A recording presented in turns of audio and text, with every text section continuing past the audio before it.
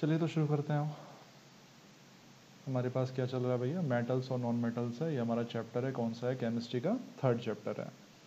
कोई भी दिक्कत हो भैया, बता देना। बहुत ही धीरे धीरे चलेंगे, एकदम चिल मारते हुए। अच्छा भैया, हमारे पास क्या है? भैया, इस बुक के हिसाब से जो मेरे पास एडिशन है, यहाँ पे ही बता रहे हैं टोटल जो है वन वन फाइव एलिमेंट्स होते हैं। ठीक है, मेरे बुक के हिसाब से किसी में वन वन सेवनटीन लिखा होता है, यहाँ पे भैया वन वन फाइव है। तो ये कोई पूछेगा नहीं आपसे, बस एक जनरल आइडिया होना चाहिए। उसके बाद हम जानते हैं कि भैया, जो भैया आपके एलिमेंट्स होते हैं, उनको भैया हम दो ग्रुप्स में डिवाइड करते हैं। एक तो भैया मेटल्स में डिवाइड करते हैं, एक हमारा नॉन मेटल्स में होता है, ठीक है? और जो बीच में आते हैं, उन्हें मेटलॉइड्स भी बोलते हैं। मैडम बोल रही हैं, मैंग के दो अकाउंट हैं। मैडम मैडम, ये तो मयंक जी बताएँगे मुझे। अच्छा तो यहाँ पे क्या था? मैं आपको दोबारा समझा देता हूँ कि भैया जो हमारे एलिमेंट्स होते हैं, एलिमेंट्स को हम भैया दो उसमें डिवाइड करते हैं। एक तो मेटल्स में डिवाइड करते हैं, एक हमारे नॉन मेटल्स में डिवाइड करते हैं, ठीक है? इसके बाद हमारे पास क्या है? अगला पॉइंट यहाँ पे ये बोलना चाह रहा है कि भैया जो मेटल्स और नॉन मेटल्स जो हैं, हमारी एवरीडे लाइफ में यूज़ होते हैं। बहुत मुबारक वाली बात है, हम सभी इसको यूज़ करते हैं, ठीक है? अच्छा भैया, इसमें कुछ प्रॉपर्टी बताना चाह रहा है मेटल के बारे में बताने से पहले कि जो मैल्यूबल का मतलब क्या होता है? मैल्यूबल का मतलब है कि जब हम उसे बीट करते हैं हैमर से, यानी उसे ठोकते हैं, ठीक है? एक मिनट और राजा जी, बढ़िया हैं आप? हाँ तो भैया, कहाँ था मैं? मैल्यूबल मैल्यूबल का क्या मतलब होता है कि बेसिकली जब आप उसे बीट करते हैं हैमर से तो पतली पतली शीट्स में कन्वर्ट हो जाता है। तो उसे हम क्या बोलते हैं? मैल्यूबल ठीक है?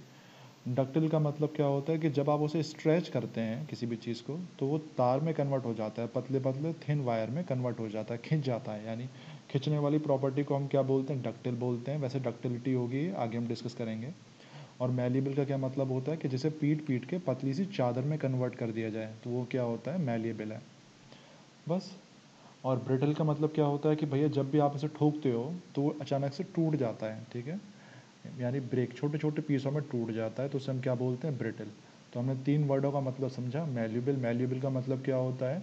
कि जब भी हम हथौड़े से पीटते हैं तो वो पतली पतली चादर में कन्वर्ट हो जाता है। डक्टल का मतलब है, जब हम उसे स्ट्रेच करते हैं तो वायर में कन्वर्ट हो जाता है। और ब्रिटल का क्या मतलब है? कि जब भी हम उसे ठोकते हैं या स्ट्रेच करते हैं किसी भी चीज़ को तो जब वो टूट जाए तो उसे हम क्या बोलते हैं? ब्रिटल बोलते हैं। अच्छा मैंग जी आप हाँ अभी बता देना हीरो। एक्चुअली मैंने आपको कमेंट थोड़ा लेट देखा, कोई बात नहीं। तो यहाँ तक आपको समझ में आ गया, तीन वर्डों का मतलब है, ये आगे यूज़ होंगे बस, ठीक है? और हमने यहाँ पे क्या देखा है कि जो मेटल्स होते हैं बेसिकली दो टाइप में डिवाइड होते हैं। एक तो जो सॉरी एलिमेंट्स जो होते हैं, वो हमारे दो टाइप में डिवाइड होते हैं। एक तो मेटल्स में डिवाइड होता है, एक हमारा नॉन मेटल में डिवाइड होता है। ये बहुत ही बेसिक पॉइंट मैंने आपको बता रहा हूँ। क्योंकि अभी चैप्टर शुरू नहीं हुआ, अब चैप्टर आपका आगे से शुरू होगा। तो भैया, अब हम मेटल्स के बारे में डिस्कस करेंगे थोड़ा डीप में। तो यहाँ पे भैया ऑफिशियल हाँ हीरो वो एलोय अलग चीज़ है।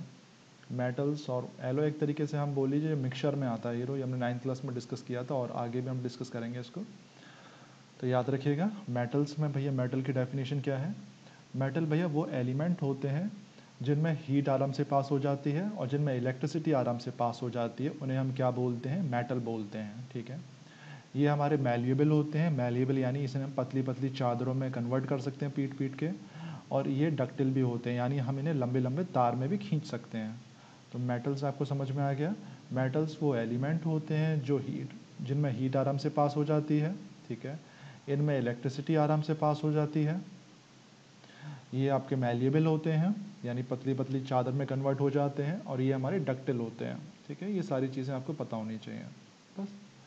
इसके एग्ज़ाम्पल क्या है भैया? आपका आयरन है, देखो यहाँ पे बन भी रहा है, ये आयरन की नेल्स हैं। आपका एलमिनियम है, वो भी मेटल होता है, यहाँ दिया नहीं डायग्राम में। कॉपर कॉपर भी एक मेटल है। आपका कॉपर यहाँ पे दिया हुआ है, ये कॉपर की पाइपें हैं बेसिकली आपका सिल्वर चांदी एक तरीके से ये रहा सिल्वर गोल्ड गोल्ड आपका ये रहा। प्लेटिनम जिंक टिन लेड और हमारा मरकरी तो ये सभी बेसिकली क्या है मेटल के एग्ज़ाम्पल हैं। ठीक है? कुछ जो हमारे सिलेबस में हम ज़्यादातर जिनके बारे में पढ़ते आए वो सोडियम है पोटेशियम है कैल्शियम और मैग्नीशियम ठीक है? इनके बारे में हम ज़्यादा पढ़ते आए बस आपको इसमें कुछ बताने वाली बात नहीं, एक चीज़ यहाँ पे ये बताने की कोशिश कर रहे हैं कि जितने भी मेटल्स होते हैं, वो सभी सॉलिड होते हैं। जितने भी मेटल्स होते हैं, वो सभी सॉलिड होते हैं। इसमें एक एक्सेप्शन होता है, वो हमारा क्या होता है? मरकरी मरकी मरकरी एक इकलौता मेटल होता है, जो कि लिक्विड स्टेट में पाया जाता है रूम टेम्परेचर पे। तो यहाँ पे याद रखिएगा। कि जो मरकरी है वो इकलौता मेटल है, जो लिक्विड स्टेट में पाया जाता है। बाकी सारे जो होते हैं मेटल्स वो सॉलिड स्टेट में पाए जाते हैं। बस इतना सिंपल सा पॉइंट है, याद रखना। तो चलिए आगे आते हैं। मेटल की डेफिनेशन आपको पता होनी चाहिए, कुछ एग्ज़ाम्पल याद होने चाहिए और ये वाला एक्सेप्शन पता होना चाहिए। आगे हम डिस्कस दोबारा से आएगा, ठीक है? तो मेटल्स वो एलिमेंट होते हैं जिनमें हीट आराम से पास हो जाती है, जिनमें इलेक्ट्रिसिटी आराम से पास हो जाती है जो आपके मेल्यूबल होते हैं और जो डक्टाइल होते हैं, ये सभी क्या है? मेटल्स हैं बेसिकली हाँ हीरो बिल्कुल होगा। चिंता कर रहे हो। अभी आ जाएगा आगे। अच्छा। आगे क्या बोलना चाह रहा है यहाँ पे? भैया यहाँ पे अगला बोलना चाह रहा है कि जब भी केमिकल रिएक्शन जब भी होती है तो जो मेटल्स होते हैं, वो हमेशा पॉजिटिव आइंस देते हैं। इंपॉर्टेंट चीज़ है ठीक है? और पॉजिटिव आइंस कैसे बनाते हैं? अपने इलेक्ट्रॉन को, अपने अंदर से इलेक्ट्रॉन को ये देते हैं, यानी ये देने वाले होते हैं। लेने वाले नहीं होते, ये देने वाले होते हैं। तो याद रखिएगा, जब भी केमिकल रिएक्शन होती है तो ये अपने अंदर से इलेक्ट्रॉन्स को देते हैं और इस कारण इनमें क्या आता है? पॉजिटिव चार्ज आता है। यानी हम इन्हें बोल सकते हैं पॉजिटिव आइन आ जाती है। बहुत ही सिंपल पॉइंट है। हाँ डोनट्स बहुत बढ़िया मैगजी ने बता दिया। एक मिनट। और शीतल जी, बढ़िया हैं आप? ठीक है। तो यहाँ पे ये लिखा हुआ है कि metals metals are the elements यानी मेटल्स वो एलिमेंट्स होते हैं जो पॉजिटिव आइंस बनाते हैं। पॉजिटिव आइंस कैसे बनाते हैं? अपने अंदर से इलेक्ट्रॉन को निकाल करके। हमने नाइन्थ क्लास में भी डिस्कस किया था कि जो मेटल्स होते हैं, वो अपने अंदर से इलेक्ट्रॉन्स को निकाल देते हैं बाहर, ठीक है? इसलिए वो पॉजिटिव आइन बनाते हैं। तो यहाँ पे यही बोला गया है कि मेटल्स वो एलिमेंट्स होते हैं जो अपने अंदर से इलेक्ट्रॉन को निकालते हैं और पॉजिटिव आइन बनाते हैं, ठीक है? इसमें एक एक्सेप्शन कौन है? हाइड्रोजन हाइड्रोजन हमारा नॉन मेटल होने के बावजूद भी अपना, अपने अंदर से इलेक्ट्रॉन को बाहर निकालता है, ठीक है? तो ये इकलौता नॉन मेटल होता है जो हमारे पास नॉन नॉन मेटल तो है ही है, साथ में आपका पॉजिटिव चार्ज बना रहे हैं, ठीक है? याद रखना। कोई भी दिक्कत हो बता देना। तो मेटल्स भैया वो एलिमेंट्स होते हैं जो पॉजिटिव आइंस बनाते हैं किसके द्वारा? अपने अंदर से इलेक्ट्रॉन्स निकाल करके। जैसे एग्ज़ाम्पल देख लें आप। जैसे हमारा ये एलमोनियम मेटल है, ठीक है? एलमोनियम जो होता है, अपने अंदर से तीन इलेक्ट्रॉन निकाल देता है बाहर। तो उस पर देखिए पॉजिटिव चार्ज आ जाता है। A L three plus three plus का मतलब है उसने तीन इलेक्ट्रॉन अपने अंदर से बाहर निकाल दिया। अब भैया, इस पर पॉजिटिव चार्ज आता है। इसलिए भैया, यहाँ पे इन्हें बोला गया है मेटल्स को हम क्या बोलते हैं? इलेक्ट्रो पॉजिटिव एलिमेंट्स बोलते हैं, ठीक है? इलेक्ट्रो पॉजिटिव एलिमेंट्स क्यों बोलते हैं? क्योंकि ये भैया पॉजिटिव आइन बनाते हैं, ठीक है? पॉजिटिव आइन बनाते हैं, किसके द्वारा पॉजिटिव आइन बनाते हैं? अपने अंदर से इलेक्ट्रॉन को निकाल करके, ठीक है? तो ये याद रखिएगा कि जो मेटल्स होते हैं, उन्हें हम इलेक्ट्रो पॉजिटिव एलिमेंट्स बोलते हैं। बिकॉज़ क्यों? क्योंकि ये भैया पॉजिटिव आइंस बनाते हैं। कैसे भैया? अपने अंदर से इलेक्ट्रॉन निकाल करके। बस यहाँ पे ये बताने वाली बात है। और मैंग जी ने बता दिया कि इनके पास मोर प्रोटॉन होते हैं लेस इलेक्ट्रॉन क्योंकि इलेक्ट्रॉन अपने अंदर से बाहर निकाल दिया। इलेक्ट्रॉन अपने अंदर से बाहर निकाल दिया तो नॉर्मल सी बात है, प्रोटॉन का पॉजिटिव चार्ज ज़्यादा हो जाएगा। बस, बहुत बढ़िया वाली बात है, आपने बताया। भैया, यहाँ पे है मेटल्स को हम अपनी नॉर्मल ज़िंदगी में काफ़ी ज़्यादा यूज़ करते हैं, जैसे कि जो बर्तन होते हैं आपके, वो भैया मेटल से बनते हैं। जो तार है, जो आपके भैया मशीन है ठीक है कार्स बसेज ये सभी क्या है बेसिकली आपके मेटल से बनते हैं। मेटल से या फिर ज़्यादातर एलॉय से। ठीक है, यहाँ पे ये बोला गया है। अच्छा भैया, याद रखना मिक्सचर ऑफ़ मेटल्स यानी मेटल्स का जो मिक्सचर होता है, उसे हम क्या बोलते हैं? एलॉय बोलते हैं। ये दोबारा आगे आने वाला है, ठीक है? मेटल्स का जो मिक्सचर होता है, उसे हम क्या बोलेंगे? एलॉय बोलेंगे। अच्छा भैया, याद रखिएगा, जो मोस्ट अबेंडेंट हमारा मेटल होता है अर्थ क्रस्ट में, यानी जो ज़मीन के अंदर जो है सबसे ज़्यादा मेटल जो पाया जाता है, वो हमारा क्या पाया जाता है भैया? एलमिनियम पाया जाता है, याद रखिएगा, ठीक है? सबसे ज़्यादा अगर आप खुदाई करेंगे तो मेटल कौन सा पाया जाएगा आपको? अर्थ क्रस्ट के अंदर भैया एलमिनियम पाया जाएगा। हीरो, वो आगे आएगा, मैंग जी, चिंता ना करें, हम आगे डिस्कस करेंगे इस बारे में। विच कॉन्स्टिट्यूट यहाँ साफ़ साफ़ लिखा हुआ है, भैया जो सेवन परसेंट जो है अर्थ के अंदर, वो हमारा क्या है? एलमिनियम मेटल भरा हुआ है। उसके बाद भैया हमारे जो अर्थ के अंदर पाया जाता है, वो आयरन पाया जाता है, याद रखिएगा। जो लगभग अर्थ क्रस्ट के अंदर, ज़मीन के अंदर चार परसेंट मात्रा है उसकी, ठीक है? बस उसके बाद आपका कौन सा है? आयरन के बाद कैल्शियम है, सोडियम है, पोटेशियम है, मैग्नीशियम है। इस तरीके से यहाँ पर डिक्रीजिंग ऑर्डर ऑफ़ अबेंडेंस है, ठीक है? ये सिंपल सा पॉइंट है। मैडम, प्लेटिनम की कितनी परसेंटेज है? मैडम, प्लेटिनम काफ़ी कम मात्रा में होगा, मैडम। इसलिए यहाँ पे दिया नहीं है, बहुत पॉइंटों में होगा। बहुत ही ना के बराबर। क्योंकि गोल्ड है और प्लेटिनम है, ये बहुत ही ना के बराबर पाए जाते हैं। तो सबसे ज़्यादा याद रखिएगा आपकी, हमारे पास एलमोनियम है, उसके बाद हमारा आयरन होता है उसके बाद हमारा कैल्शियम है सोडियम है पोटेशियम है और मैग्नीशियम है। बस ये सिंपल सी बात है। इसके बाद हमारे पास क्या था? नॉन मेटल के बारे में हम बात करते हैं।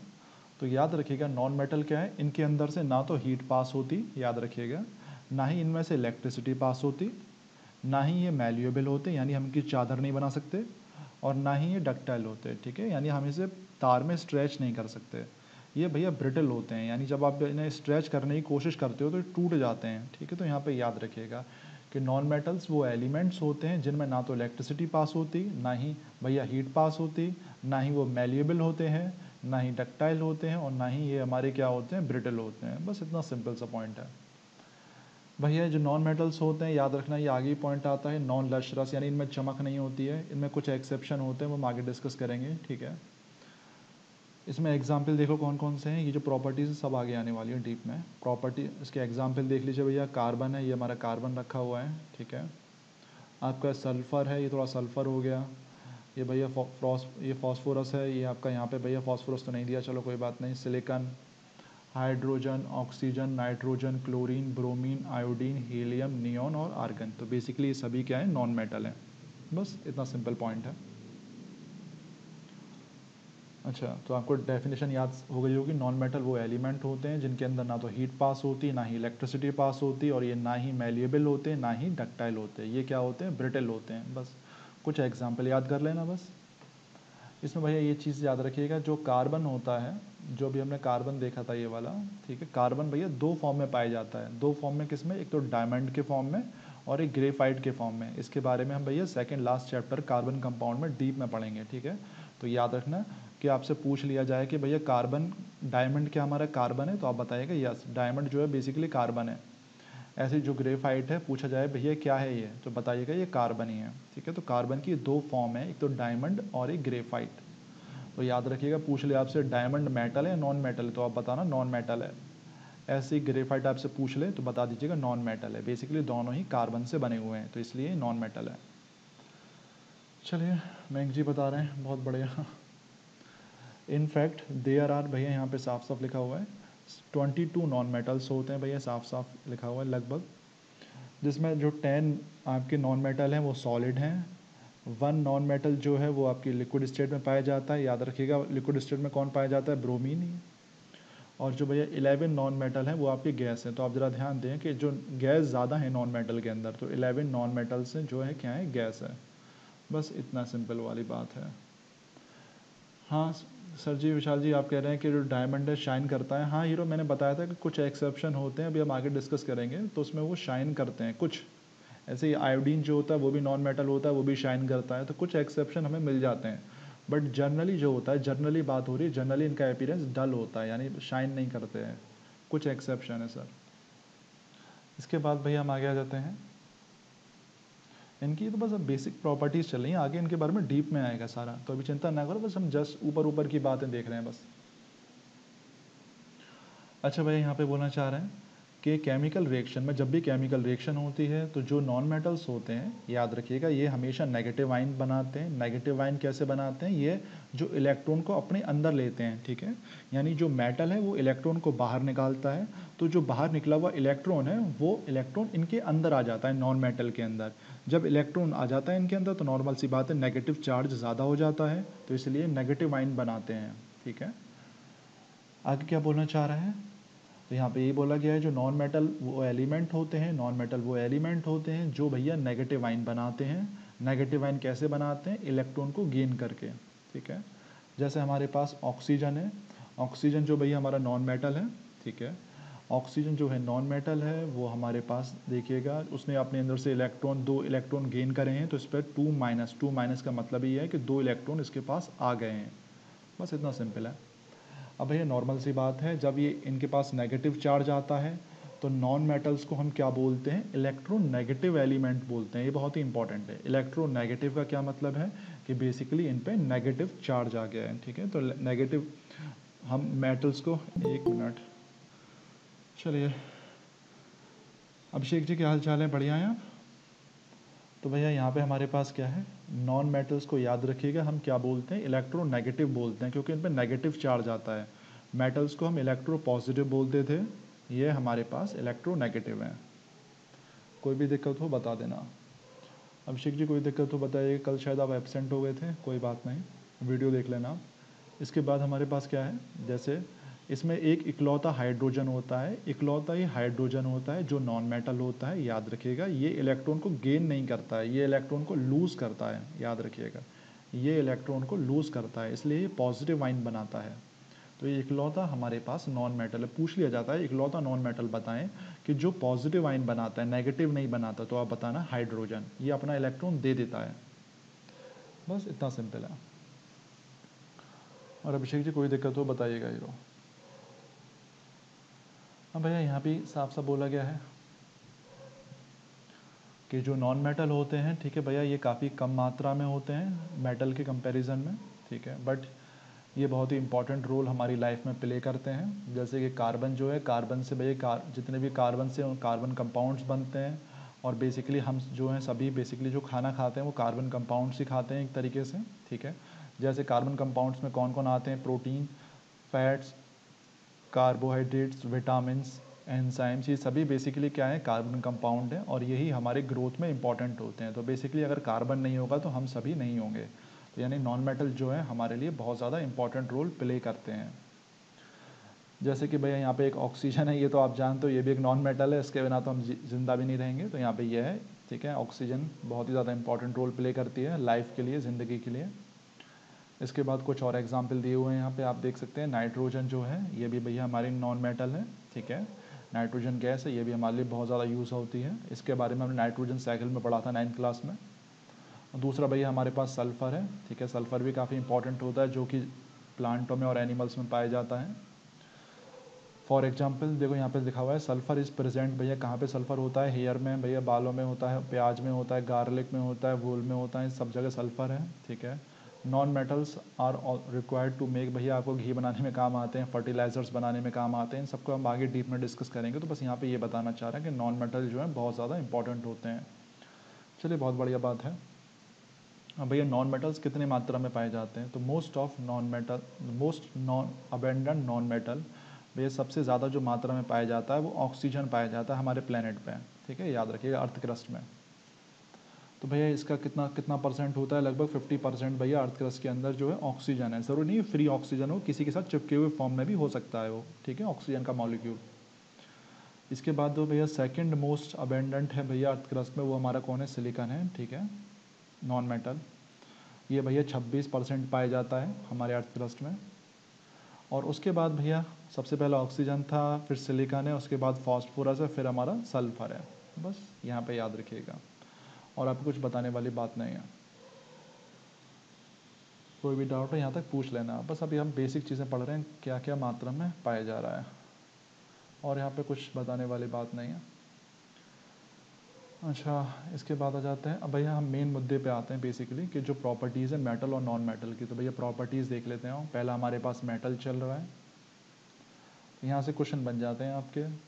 तो मेटल्स भैया याद रखिएगा, पूछ लेंगे आपसे पाँच प्रॉपर्टी लिखिए चार प्रॉपर्टी लिखे मेटल या नॉन मेटल की तो यहाँ पे बस यही है। पहला क्या है भैया मेटल्स जो होते हैं मेलिएबल होते हैं, ठीक है? मेलिएबल देखिए, यहाँ पे ये रहा मेटल को भैया उन्होंने पीट पीट के पतली सी चादर चादर बना दिया ठीक है? हाँ दैट इज़ मेटल्स को जो हम बीट करते हैं, पीटते हैं तो वो पतली पतली शीट में कन्वर्ट हो जाता है, ठीक है? और हमारा मेटल टूटता भी नहीं है, आराम से वो शीट में कन्वर्ट हो जाता है। तो ये वाली प्रॉपर्टी कौन होल्ड करते हैं भैया, हमारे मेटल होल्ड करते हैं। तो मेटल्स हमारे मेल्यूबल होते हैं, ठीक है? और इसी को हम क्या बोलते हैं? मेल्यूबिलिटी बोलते हैं। यानी वो प्रॉपर्टी वो प्रॉपर्टी जिसकी वजह से जो मेटल्स हैं पतले पतले शीट में कन्वर्ट हो जाते हैं, उस प्रॉपर्टी को हम क्या बोलते हैं? मेल्यूबिलिटी बोलते हैं। बहुत ही सिंपल पॉइंट है। भैया, सबसे अच्छे जो मेल्यूबल मेटल्स होते हैं, वो याद रखना हमारे गोल्ड हो गया सिल्वर हो गया, ठीक है? ये काफ़ी ज़्यादा अच्छे हमारे मेटल्स होते हैं मेल्यूबल मेटल्स होते हैं। Diamond is made up of carbon compound madam diamond जो है कार्बन से बना होता है कार्बन कंपाउंड से नहीं बना होता मैडम। मैडम डायमंड जो है सिर्फ़ कार्बन की फॉर्म है, लेकिन कार्बन डायमंड जो है बेसिकली अच्छा कार्बन की दो फॉर्म है, एक डायमंड है और एक आपका ग्रेफाइट है। लेकिन ये जो डायमंड वाली फॉर्म है कार्बन की, ये काफ़ी कम मात्रा में पाई जाती है। ये डायमंड वाली फॉर्म तब होती है जब ये कार्बन जो है बहुत ही ज़्यादा प्रेशर से कहीं दबा हुआ हो। तब वहाँ पे डायमंड जो है पाया जाता है, ठीक है? अगर प्रेशर नहीं है वहाँ पे तो नॉर्मल सी बात है, वहाँ पे आपकी ग्रेफाइट के फॉर्म में पाया जाता है। मैडम, आपको समझ में आ गया? वो डिपेंड करता है कंडीशन पे, किस कंडीशन में वो कार्बन वहाँ पे दबा हुआ था प्रेशर था वहाँ पे या नहीं था तो ये सारी चीज़ें चाहिए होती हैं ग्रेफाइट डायमंड को बनने के लिए। तो अगर वो डायमंड को बनने के लिए वो सारी प्रेश कंडीशन मौजूद है ज़मीन के अंदर उस समय तो वो कार्बन जो है डायमंड में वो कन्वर्ट हो जाएगा बेसिकली डायमंड का स्ट्रक्चर ले लेगा। और अगर वो सारी कंडीशन मौजूद नहीं है, उसके ज़मीन के अंदर उस समय तो नॉर्मल सी बात है, वो ग्रेफाइट की तो कंडीशन लेगा ही लेगा। अब कोई दिक्कत हो मैडम बता दीजिएगा। वो डिपेंड करता है क्या कंडीशन है ज़मीन के अंदर। क्योंकि डायमंड को बनने के लिए बहुत ज़्यादा प्रेशर की ज़रूरत होती है। वो हम आगे डिस्कस करेंगे इसमें। तो कंडीशन कैसी है, इसके हिसाब से हो जाता है।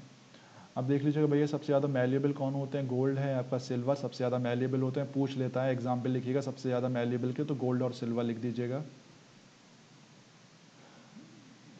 सर, मैं समझा नहीं, एक बार बता दो। हीरो, कौन सा पॉइंट बता दूँ? ऊपर वाला पॉइंट हीरो मेलेबल का मतलब बट यहाँ पे हीरो, बस हम वो चल रहे हैं। एक मिनट बता देता हूँ मैं आपको दोबारा से।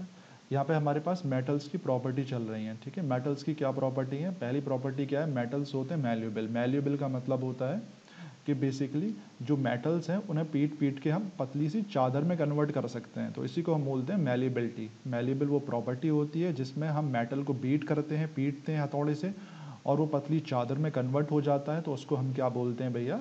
मेल्यूबिलिटी उस प्रॉपर्टी को बोलते हैं। तो यहाँ पे याद रखिएगा, जो सबसे अच्छे मेल्यूबल मेटल्स होते हैं, जिन्हें हम पतली चादर में कन्वर्ट कर सकते हैं, वो हमारे गोल्ड और सिल्वर होते हैं। बस सर जी इतना बताया है। और चिंता ना करो, जो पीछे का छूट गया तो वीडियो रिकॉर्ड हो रही है, आराम से देख लेना। मेल्यूबल में भैया और कौन से आ जाते हैं? आपके एलमोनियम आ जाता है और आपका कॉपर आ जाता है, ठीक है? ये भी भैया आपके अच्छे उसमें आते हैं मेल्यूबल मेटल में। और आपने एलमिनियम फॉयल का तो यूज़ किया ही होगा शायद खाने में जब आप ले जाते हैं लंच बॉक्स में तो मम्मी जो है पराठा जो है एलमिनियम की चादर में जो होता है एलमिनियम फॉइल्स में, उसमें लपेट देती हैं, ठीक है? ताकि वो सही से बना रहे। तो यहाँ पे यही है। और कुछ यहाँ पे बताने वाली बात नहीं है। ठीक है? जैसे भैया सिल्वर है, सिल्वर मेटल को जब आप हथौड़े से ठोकते हैं, ठीक है तो सिल्वर फॉइल्स में कन्वर्ट हो जाता है। आपने देखा होगा मिठाई के ऊपर जो है सिल्वर की हल्की सी पत्ती से परत सी होती है। आपने देखा होगा मिठाइयों के ऊपर रखा रहता है, ठीक है, वो सिल्वर की होती है मेरे अंदाजे से। मुझे इतना तो जैसे कि सिल्वर फॉइल्स जो यहाँ पे लिखा भी हुआ है, देखो उससे आपके मिठाइयों को डेकोरेट करने में यूज़ होती है वो। अच्छा अगला है मैडम। मैडम, वो फ़ूड के साथ रिएक्ट करती है, नहीं करती मैडम ये तो वही जान है। वैसे डेकोरेट करना नहीं चाहिए वैसे, क्योंकि वो मेटल है बेसिकली तो मेन चीज़ ये है मैडम ये सिल्वर जो होता है, वो बहुत ही कम रिएक्टिव मेटल होता है। सिल्वर बहुत कम रिएक्टिव मेटल होता है, इसलिए वो खाने से कम रिएक्ट करता होगा, ना के बराबर करता होगा। इसलिए लोग जो है, उस पर सजाने में काम आती है, मिठाइयों के ऊपर, क्योंकि सिल्वर जो है रिएक्ट नहीं करता है। बहुत ही लीस्ट रिएक्टिव मेटल में आता है। और कोई दिक्कत हो, बता दीजिएगा। अभी हम देखेंगे कौन कितना ज़्यादा रिएक्टिव होता है, आगे आने वाला है सब। इसी तरीके से जो आपकी एलमिनियम फॉइल्स होती हैं भैया एलमिनियम फॉइल्स का कहाँ यूज़ होता है भैया? बिस्कुट्स में यूज़ होता है, चॉकलेट्स में। आपने देखा होगा चॉकलेट का जो अंदर रैपर होता है, उस टाइप को रैप किया हुआ होता है। एक मेडिसिन किटकैट आपने खाई होगी और आपके सिगरेट्स, ठीक है? इन सभी में एलमिनियम की फॉइल यूज़ होता है बस, और कुछ बताने वाली बात नहीं है आपको। चलिए भैया, आगे आ जाते हैं और भैया, आयरन की भी शीट्स हम बनाते हैं, आपको पता होगा। आयरन की शीट भैया, बॉक्स बनाने में, ड्रम्स बनाने में, पानी की टंकी बनाने में भी भैया कहीं ना कहीं यूज़ होता है। तो ये तो आपको जानते हो। हमारे घर में सभी में बक्से रखे रहते हैं, जिसमें कपड़े रखे रहते हैं तो वो बक्से एक तरीके से आयरन की शीट ही है, जिससे उन्होंने मेलिबिलिटी बनाई है उसे। अच्छा। आगे आते हैं, आओ। मैंग जी, क्या कहना चाह रहे हैं आप? अगला है भैया मेटल्स जो होते हैं, भैया हमारे डक्टिल होते हैं। डक्टिल यानी बेसिकली उन्हें तार में हम कन्वर्ट कर सकते हैं। तो देखिए यहाँ पर तार में उन्हें कन्वर्ट किया हुआ है। ठीक है। तो भैया यहाँ पे वही है कि वो प्रॉपर्टी जिसकी वजह से हम मेटल्स को तारों में कन्वर्ट कर देते हैं, उस प्रॉपर्टी को हम क्या बोलते हैं? डक्टिलिटी बोलते हैं। याद रखिएगा, ये लिखा हुआ है डक्टिलिटी वो प्रॉपर्टी होती है जिसकी वजह से हम मेटल्स को तारों में कन्वर्ट कर सकते हैं स्ट्रेच करके। इसमें भैया सबसे अच्छा कौन है? भैया हमारा गोल्ड है। गोल्ड जो होता है, सबसे ज़्यादा डक्टिल होता है। लेकिन हम सोने के तार नहीं बना सकते, क्योंकि काफ़ी महँगा होगा वो। जैसे कि यहाँ पे लिखा हुआ है एग्ज़ाम्पल के तौर पे आप कि भैया एक ग्राम अगर आप सोना ले लोगे, कृपा करके, ठीक है? जब आप उसे डक्टल खींचोगे तो लगभग दो किलोमीटर लंबा खींच जाएगा। तो आप देख सकते हो, एक ग्राम सोना बहुत ही कम होता है। तो जब आप उसे खींचोगे तो लगभग दो किलोमीटर लंबा चला जाएगा वो, ठीक है? हाँ मैडम, और क्या है? सिल्वर मेटल सिल्वर मेटल याद रखिएगा, सबसे अच्छे डक्टल मेटल्स में आता है। मैडम एक्चुअली शैलजा जी अभी आई नहीं है, वो, उनका मैसेज आ गया था मुझे। और क्या कहते हैं? हमारे रचित जी का नेट नहीं आता तो बाद में वीडियो देख लेते हैं, उनका मैसेज आता है मेरे पास। ऐसे राजा जी का भी यही है, जिनका नेट नहीं आ रहा, वो नहीं आ रहे तो वो बाद में वीडियो देख लेते हैं, बस ये है। अगला हमारे पास क्या है? कॉपर और जो एलमोनियम है, ठीक है? कॉपर एलमोनियम जो है, वो भी सस्ते हैं, लेकिन ये भी बहुत डक्टाइल होते हैं, ठीक है? याद रखिएगा, इसलिए हम जो है कॉपर के वायर बनाते हैं और एलमोनियम के वायर की तारों में यूज़ होते हैं, ठीक है? कॉपर और एलमोनियम वायर। सोने के और भैया, चांदी के तार हम नहीं लगा सकते, क्योंकि बहुत महँगे हैं वो। इसमें भैया और भी कौन कौन से इसके बाद आयरन भी है मैग्नीशियम में टंगस्टन है, इनके भी भैया हम तार बना सकते हैं बट इनकी ज़रूरत नहीं है। डक्टाइल होते हैं, यहाँ पे ये बोलना चाह रहे हैं। तो मेटल्स जो होते हैं मैलेबल भी होते हैं और डक्टाइल भी होते हैं। मुबारक हो, अब तक हमने बस ये दो ही पॉइंट डिस्कस किए हैं। इसके बाद आगे आते हैं इसके बाद मैडम हमारे पास क्या है? मेटल्स जो होते हैं भैया, वो गुड कंडक्टर ऑफ़ हीट होते हैं। कृपा करके याद रखिएगा। यानी इसका मतलब क्या है देसी भाषा में? कि अगर आपको यहाँ से, ये हमारे एलमिनियम की रॉड है तो अगर आप यहाँ से हीट करना शुरू करोगे तो हीट जो है आराम से आगे ट्रांसफ़र हो जाएगी। ये तो आपने देखा होगा, जो आपके मेटल के बर्तन होते हैं, जब आप उसे हीट करते हैं तो पूरा नीचे से आप हीट करते हैं तो ऊपर तक बर्तन गर्म हो जाता है। तो बेसिकली हीट जो है पूरी चारों तरफ़ फैल जाती है। तो यहाँ पे यही बोला गया है कि जो मेटल्स होते हैं, वो भैया क्या होते हैं? गुड कंडक्टर ऑफ़ हीट होते हैं। ठीक है? तो यहाँ पे क्या किया गया है? ज़रा ध्यान दीजिएगा। यहाँ पे भैया ये जो आपकी आयरन की नेल्स हैं, उन्हें वैक्स के साथ चिपका दिया गया है, ठीक है, इस तरीके से। जो आपकी मोमबत्ती में जो वैक्स है, उससे चिपका दिया गया है। अब क्या हो रहा है कि भैया यहाँ पे उन्हें हीट किया गया एक बर्नर पर बर्नर से इस रॉड को। तो जैसे ही आप हीट करेंगे तो भैया रॉड धीरे धीरे जो हीट है आगे तक बढ़ेगी। इसके कारण जो उसके अंदर वैक्स था, जिससे वैक्स चिपका हुआ था नेल से, वो पिघल जाएगा। तो भैया आपकी जो नेल है, वो नीचे गिर रही हैं, ठीक है? और ये आगे सारी नेल्स धीरे धीरे गिरती चली जाएँगी। तो इससे यहाँ पे ये साबित हो जाता है कि जो हीट होती है, वो मेटल्स में फ्लो करती है, आराम से फ्लो कर जाती है, ठीक है? इसमें भैया नॉर्मल सी बात है, अगर आप लकड़ी ले लो, ठीक है? अगर आप लकड़ी को हीट करते हो इधर, ठीक है, चूल्हे में रख दो तो आगे वाला हिस्सा तो गर्म होता है, लेकिन पीछे वाली लकड़ी, इधर वाले हिस्सा ठंडा रहता है, ठीक है? तो उसमें जो है हीट फ्लो नहीं करती है हीट आराम से पास नहीं होती तो भैया गुड कंडक्टर ऑफ़ हीट नहीं होती लकड़ी, ठीक है? तो याद रखिएगा। लेकिन भैया, लोहे की पाइप है, अगर आप उसे गर्म कर दोगे एक साइड से तो पीछे वाला हिस्सा भी गर्म हो जाता है। क्यों हो जाता है? क्योंकि हीट जो होती है, आराम से फ्लो कर जाती है। तो याद रखिएगा, यहाँ पे लिखा हुआ है मेटल्स जो होते हैं, हमारे क्या होते हैं? गुड कंडक्टर ऑफ़ हीट होते हैं। यहाँ पे मैंने आपको ये एक्सपेरिमेंट समझा दिया है। बस। इसमें और क्या चीज़ है भैया? तो भैया, यहाँ पे हमारे पास क्या है कि जो सिल्वर है मेटल है, वो भैया हमारा बेस्ट कंडक्टर होता है हीट का। नॉर्मल सी बात है, याद रखिएगा। उसके बाद भैया कॉपर होता है, ठीक है? एलमिनियम होता है, ठीक है? इसलिए भैया हम जो हमारे जो बर्तन होते हैं या, ठीक है, जिसमें हम पानी गर्म करते हैं या खाना बनाते हैं, वो बेसिकली कॉपर या एलमिनियम से बनते हैं। क्योंकि इनमें भैया हीट ये बहुत अच्छी तरीके से हीट को कंडक्ट करते हैं। इसमें याद रखिएगा, जो सबसे पुअर कंडक्टर होता है हीट का, जिसमें हीट पास नहीं होती और वो भी मेटल मेटल जो पुअर कंडक्टर होता है, वो भी हमारा लेड होता है एल ई ए डी याद रखिएगा। तो पूछ लेते हैं सर जी कि बताइए, वो मेटल बताइए, जो कि पुअर कंडक्टर होता है हीट का तो आप बता देना लेड ये हमारा पुअर कंडक्टर होता है, ठीक है? एक इसमें एक और एक और एग्ज़ाम्पल है मरकरी भैया मरकरी भी जो है हमारा क्या होता है पुअर कंडक्टर होता है, ये भी इंपॉर्टेंट चीज़ है, ठीक है? वैसे मरकरी हमारा लिक्विड स्टेट में पाया जाता है, और ये हमारा सॉलिड स्टेट में पाया जाता है, बस इतना सिंपल सी वाली बात है। तो याद रखिएगा कि भैया जो मेटल्स होते हैं, उनमें भैया हाई हीट कंडक्टिविटी होती है या थर्मल कंडक्टिविटी एक ही बात है। थर्मल का मतलब भी हीट ही है और हीट का मतलब तो आप जानते ही हो। अच्छा आगे आ जाते हैं और कुछ बताने वाली आपको बात नहीं है। अगला भैया हमारे पास क्या है? मेटल्स भैया हमारे इलेक्ट्रिसिटी को भी कंडक्ट करते हैं। हम सभी जानते हैं तो आप जानते हो मेटल्स में क्या होते हैं? फ्री इलेक्ट्रॉन्स होते हैं, वो इधर से उधर इलेक्ट्रॉन भाग जाते हैं तो इसलिए भैया इलेक्ट्रिसिटी आराम से कंडक्ट हो जाती है। वो फ्रीली मूव कर जाते हैं, क्यों? इलेक्ट्रॉन्स हमारे फ्रीली मूव करते हैं। तो यहाँ पे ये metals allow electricity to pass through them easily बहुत ही सिंपल पॉइंट है। हाँ सर मयंक अच्छा मयंक जी क्या कह रहे हैं? टाइटेनिक क्या हीट ट्रांसफ़र करता है? टाइटेनिक टाइटेनिक कौन है भैया? टाइटेनिक क्या हीट ट्रांसफ़र करता है भैया सर लीड मेनली यूज़ कहाँ होता है? लेड अच्छा मैडम सर बैंक ने पूछा है शिप अच्छा शिप पूछा है भैया? भैया टाइटेनिक शिप क्या होता है मैडम? मैंग जी समझ नहीं पाया टाइटेनिक और लेड भी मैडम इसी तरीके से कहीं ना कहीं यूज़ होता होगा मुझे अभी आइडिया नहीं मैं देख लूँगा। नेट पे टाइटेनिक मेटल जो डूब गया था। टाइटेनिक मेटल डूबा था टाइटेनिक शिप डूबा था सर जी। हाँ सर वो टाइटेनिक का तो था क्या वो हीट ट्रांसफ़र करता है? ये टाइटेनिक का तो टाइटेनिक कुछ होता थोड़ा नहीं टाइटेनिक उसका नाम दे दिया था एक शिप है शिप का नाम टाइटेनिक दे दिया बस। तो शिप मेटल तो, नहीं होता टाइटेनिक नेम का? नहीं सर जी कोई मेटल नहीं होता हीरो ठीक है तो लोहे का बना हुआ था बस। उसमें अरे कोई बताने वाली बात नहीं लोहे तो आप जानते हो लोहे में इलेक्ट्रिसिटी पास हो जाती है आराम से। कोई बात नहीं। हाँ देखिए मान्या जी ने बता दिया नाम था उसका ईश्वरी शीतल जी ने। अच्छा और लेड आपका कहाँ यूज़ होता है, वो भी आगे आ जाएगा। चिंता ना करो मेटल के यूज़ में अभी हम देखते हैं कहाँ पे यूज़ होगा। तो भैया, यहाँ पे हमारे पास क्या है? देखो, ये आपका एक सेल है, आप ज़रा देख सकते हैं, ठीक है। ये भैया हमारा बल्ब है, ये हमारा कनेक्टिंग वायर है, आप देख रहे हैं यहाँ पे। ये हमारे भैया क्रोकोडाइल क्लिप्स हैं, एक तरीके से क्लिप्स हैं। एक तार आपका ये जा रहा है, एक तार आपका ये जा रहा है। यहाँ पे भैया, बीच में इन्होंने देखे, यहाँ पे मेटल का फॉयल लगा दिया, यानी एलमिनियम फॉयल है। एलमिनियम की चादर लगा दी है क्लिप्स क्लिप्स में बाँध दी है तो जब ये सर्किट पूरा हो जाएगा तो देखिए यहाँ से करंट पास होगा और बल्ब आपका जल जाएगा, ठीक है? करंट पूरा सर्किट बन जाएगा इस तरीके से करंट तो नॉर्मल सी बात है, बल्ब जल गया तो इसका मतलब क्या है बेसिकली कि मेटल में हमारा जो हमारा मेटल है, यानी एलमिनियम जो फॉयल है, इसमें करंट पास हो रहा है, ठीक है? तो यहाँ पे ये शो करने चाह रहे थे कि जो मेटल्स हैं, उसमें करंट आराम से पास हो जाते हैं। और जय जी, बढ़िया हैं आप?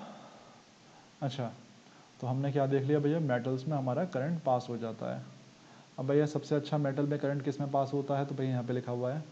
सिल्वर जो मेटल होता है, वो बेस्ट कंडक्टर होता है इलेक्ट्रिसिटी का। उसमें सबसे सबसे ज़्यादा करंट पास होता है, सबसे बेस्ट कंडक्टर है। उसके बाद भैया कॉपर हो जाता है, ठीक है। गोल्ड है एलमिनियम है टंगस्टन है, इन सभी में बेसिकली करंट पास होता है, ठीक है। तो इसलिए हम कॉपर और एलमिनियम जो है सस्ते आते हैं तो इनके तार हम आराम से बना लेते हैं। भैया नॉर्मल सी बात है सिल्वर के तार हम नहीं बना पाएँगे, काफ़ी महँगे होते हैं, ठीक है। और यहाँ पे क्या बताना चाह रहे हैं बस? और कुछ नहीं तो यहाँ पे हमारा लास्ट पॉइंट यही हो गया कि जो मेटल्स होते हैं, वो गुड कंडक्टर ऑफ़ हीट होते हैं और इलेक्ट्रिसिटी होते हैं। अच्छा भैया, इनके ऊपर ये जो प्लास्टिक के वो होती है कोटिंग आप देख रहे हो प्लास्टिक की चादर सी चुपकी हुई है, ये जो है, ठीक है, जो आपको करंट से बचाती है। इसे हम भैया बोलते हैं पीवीसी याद रखिएगा, ये एक इंसुलेटर होता है। इंसुलेटर का मतलब है जिसमें करंट पास नहीं होता। हमने भैया इलेक्ट्रिस फिजिक्स में चैप्टर में डिस्कस किया था इसके बारे में। तो भैया यहाँ पे ही बोला गया है कि जो इलेक्ट्रिक वायर होते हैं, जिनके पास जो करंट ले जाते हैं, ठीक है, उनके ऊपर एक प्लास्टिक की कवरिंग होती है। उस प्लास्टिक को हम क्या बोलते हैं? पॉलीविनाइल क्लोराइड बोलते हैं पीवीसी भैया पीवीसी जो होता है, एक इंसुलेटर होता है, याद रखिएगा, ये इलेक्ट्रिक करंट को अपने अंदर से पास नहीं होने देता, ठीक है? जब इलेक्ट्रिक करंट को अपने अंदर से पास नहीं होने देगा, इसका मतलब है आपको शॉक नहीं लगेगा इलेक्ट्रिक शॉक नहीं लगेगा, ठीक है? तो बस यही आपको ये बताना था। और कोई डाउट हो तो पूछ लेना भैया। चलिए बढ़िया। तो याद रखिएगा, जो उन पर कवरिंग होती है प्लास्टिक की, वो पीवीसी की होती है पॉलीविनाइल क्लोराइड की होती है। एक इंसुलेटर होता है, और इसमें करंट पास नहीं होता है, और आपको करंट नहीं लगता है। अच्छा भैया, अगली प्रॉपर्टी क्या है? मेटल की। भैया मेटल जो होते हैं लशरस होते हैं शाइनी सर्फेस होता है इनका, मुबारक हो। और ये वाली प्रॉपर्टी आंटियों को बहुत पसंद आती है। तो भैया मेटल जो होते हैं शाइनी सरफेस होते हैं, ठीक है। इनमें सबसे अच्छा टॉप पर कौन है? भैया गोल्ड है सिल्वर है चलिए कॉपर के तो कोई कोई ज़्यादा पहनता नहीं है आंटी, ठीक है? तो भैया यहाँ पे ये बोला गया है कि property of metal having shiny surface यानी वो प्रॉपर्टी मेटल की जिनमें, जो उनके में शाइनी सरफेस की प्रॉपर्टी होती है, उसे हम क्या बोलते हैं? मेटलिक लश्कर बोलते हैं, ठीक है? अच्छा मान्य जी बता रही हैं? यस हाँ। मान्य जी को भी पसंद है यार तो देख लीजिए, ये प्रॉपर्टी है जिस कारण जो गोल्ड है हमारा इतना महँगा है, ठीक है? आंटियों के कारण ही गोल्ड हमारा महँगा है। अच्छा तो यहाँ पे याद रखिएगा कि भैया गोल्ड हमारा लश्कर होता है, इसलिए इनको चमक होती है, इसलिए लोग इसे पसंद करते हैं, मुबारक हो। सर प्लेटिनम क्यों नहीं? मैडम प्लेटिनम इसलिए नहीं पहनती क्योंकि प्लेटिनम बेसिकली एक तो महँगा आता है और काफ़ी कम होता है, ठीक है? तो ये शुरुआत से यही चल रहा है। प्लेटिनम मेरे अंदाज से इससे महँगा आता है, मेरे अंदाज से मैडम गोल्ड से। तो भैया, यहाँ पे यही बोलना चाह रहे हैं। आप मैडम प्लेटिनम पहन लेना, कोई दिक्कत नहीं है। और वो पहनते हैं, ऐसी बात नहीं है। प्लेटिनम का भी ऐड आता है। आप टीवी में देखेंगे भैया, प्लेटिनम की जो आपकी ज्वेलरी होती है, उसका भी ऐड आता है। तो डिपेंड करता है मैडम आपके टेस्ट पर। तो भैया, आगे चलें। तो भैया, यहाँ पे आ जाते हैं। आप प्लेटिनम पहनना मैडम चिंता कर रही हो। तो मेटल भैया, याद रखिए, कुछ समय बाद मेटल जो होती है, अपनी शाइनी सरफेस को थोड़ा सा लूज़ कर देते हैं, यानी डल हो जाते हैं कुछ समय बाद, ठीक है? क्यों हो जाते हैं? क्योंकि भैया, उन पर ऑक्सीजन की चादर चढ़ जाती है। ऑक्सीजन की, कार्बोनेट की या सल्फाइड की। इनके बारे में हम आगे डिस्कस करेंगे। बस यहाँ पे ये बोला गया है कि कुछ समय बाद धीरे धीरे इनकी जो अपीयरेंस होती है, वो डल हो जाती है, ठीक है? और किस कारण? क्योंकि उनमें ऑक्सीजन जो होती है, वो चिपक जाती है धीरे धीरे ऑक्सीजन हो सकती है कार्बोनेट हो सकते हैं, ठीक है? तो कार्बोनेट की लेयर बन सकती है, या फिर सल्फाइड की लेयर बन सकती है। इनके बारे में हम आगे डिस्कस करेंगे, कौन क्या बना रहा है। और ये काफ़ी स्लो प्रोसेस होता है ये नहीं कि बहुत जल्दी हो जाएगा बट धीरे धीरे जो होता है, इनकी अपीरेंस डल हो जाती है। बस ये तो आपने देखा भी होगा, अगर बहुत पुराने सोना का गहने होते हैं, आपकी ज्वेलरी होती है, वो थोड़ी थोड़ी डल हो जाती है। तो बाद में सोनार उसे सही साफ़ कर देते हैं तो फिर से वो चमक जाती है। तो याद रखिएगा, ये धीरे धीरे डल हो जाते हैं।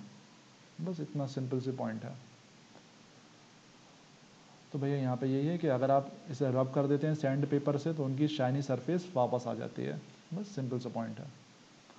अच्छा आगे है, चलिए जान, शीतल जी कह रही हैं, प्लेटिनम की पहनेंगी वो। बढ़िया। अगला हमारे पास क्या है? मेटल्स जो होते हैं भैया जनरली हार्ड होते हैं।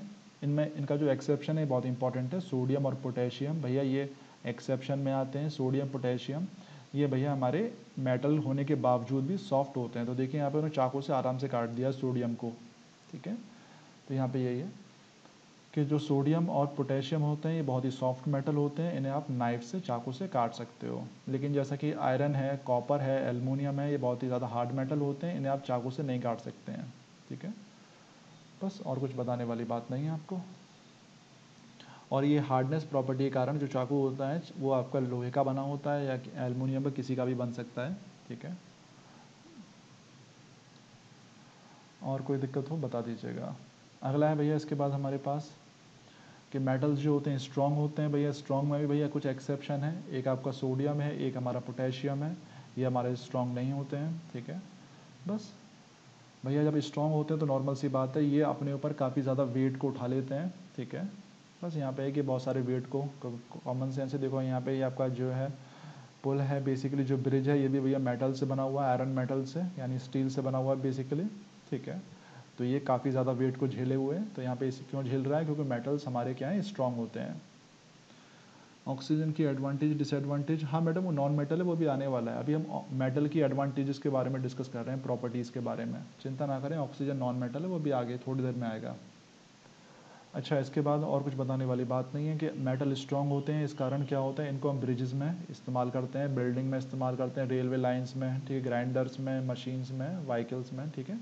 कहीं भी हम इन्हें यूज़ कर सकते हैं।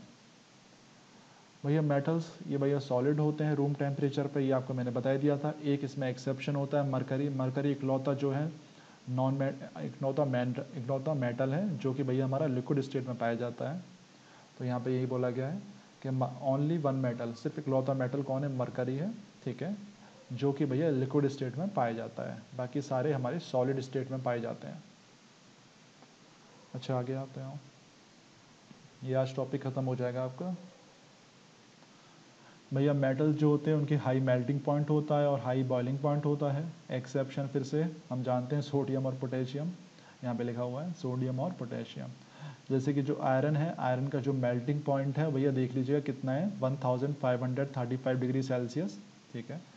कॉपर का जो है भैया मेल्टिंग पॉइंट वो भी काफ़ी हाई है। 1083 यानी इस टेम्परेचर पे भैया जो है कॉपर जो है मेटल वो थोड़ा सा लिक्विड स्टेट में कन्वर्ट हो जाएगा। तो याद रखिएगा। हाँ भैया मरकरी बिल्कुल सही कह रहे हैं मैंग जी। मरकरी जो है थर्मोमीटर में यूज़ होती है, बहुत बढ़िया। इसमें सोडियम और पोटेशियम तो एक्सेप्शन है ही है।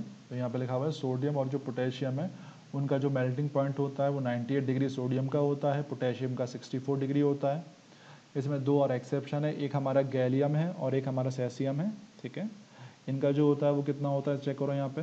30 डिग्री और हमारा 28 डिग्री, ठीक है? ये भी कुछ एक्सेप्शन में आ जाते हैं। यहाँ तो कोई दिक्कत तो पूछ लीजिएगा। एक हमारा यहाँ पे है और एक हमारा यहाँ पे है। मैडम, चिंता ना करें, सारे यूज़ आने वाले हैं इनके कुछ समय बाद। कौन कहाँ यूज़ हो रहा है? सब आगे आएँगे। बस यहाँ प्रॉपर्टीज़ के बारे में हम डिस्कस कर रहे हैं। इसके बाद भैया हमारे पास क्या आ जाते हैं? मेटल्स की भैया डेंसिटी क्या होती है? हमारी हाई होती है। एक्सेप्शन क्या था? सोडियम और पोटेशियम याद रखिएगा। जैसे भैया मेटल यहाँ पे क्या हुआ है? आयरन आयरन की डेंसिटी कितनी है भैया? देखिएगा 7.5 ग्राम पर सेंटीमीटर क्यूब यानी बेसिकली एक एक सेंटीमीटर क्यूब का जो ब्लॉक है, उसके अंदर जो आयरन का वेट होगा, वो 7.5 ग्राम होगा। 7.8 ग्राम सॉरी ऐसे भैया, जो हमारा डेंसिटी होती है, वो काफ़ी कम होती है। तो एग्ज़ाम्पल देख लें आप कि भैया अगर आप सोडियम का एक सेंटीमीटर क्यूब का ब्लॉक लेंगे, ठीक है तो उसके अंदर जो वेट होगा वो सिर्फ़ zero point nine seven gram weight होगा। ऐसी भैया यहाँ पे हमारे पास पोटेशियम है, फिर से एक सेंटीमीटर क्यूब का अगर आप ब्लॉक लेते हैं, ठीक है तो उसमें जो पोटेशियम का जो वेट होगा वो सिर्फ़ zero point eight six gram होगा। तो इनकी डेंसिटी काफ़ी कम है इन दोनों की, लेकिन आयरन की काफ़ी ज़्यादा है, आप देख सकते हैं सेवन पॉइंट एट है। बहुत बढ़िया। यहाँ तक कोई दिक्कत तो बता देना। Battery is also it is use in alloys also हाँ मैडम, बिल्कुल सही कह रहे हैं आप। मेटल्स जो होता है सोनरस होते हैं, याद है कि टन टन की आवाज़ निकालते हैं, ठीक है? तो यहाँ पे आपकी स्कूल की घंटी बजती होगी, ठीक है? वो किस प्रॉपर्टी के यूज़ कर रही है? सोनरस का। इंग्राम में अभी घंटी बन ये घंटा होता है, वही बजता है या फिर? अब इलेक्ट्रिक बेल बजती है। और मैडम ब्लू वर्ड में कैसा होता है? घंटी है या फिर आपका वो है इलेक्ट्रिक बैल है? अच्छा बैल है। चलिए बहुत बढ़िया। पहले ग्राम में घंटी बजती थी, जब मेरे टाइम में। कोई बात नहीं। एक आंटी हथौड़े से टन टन करती रहती थी।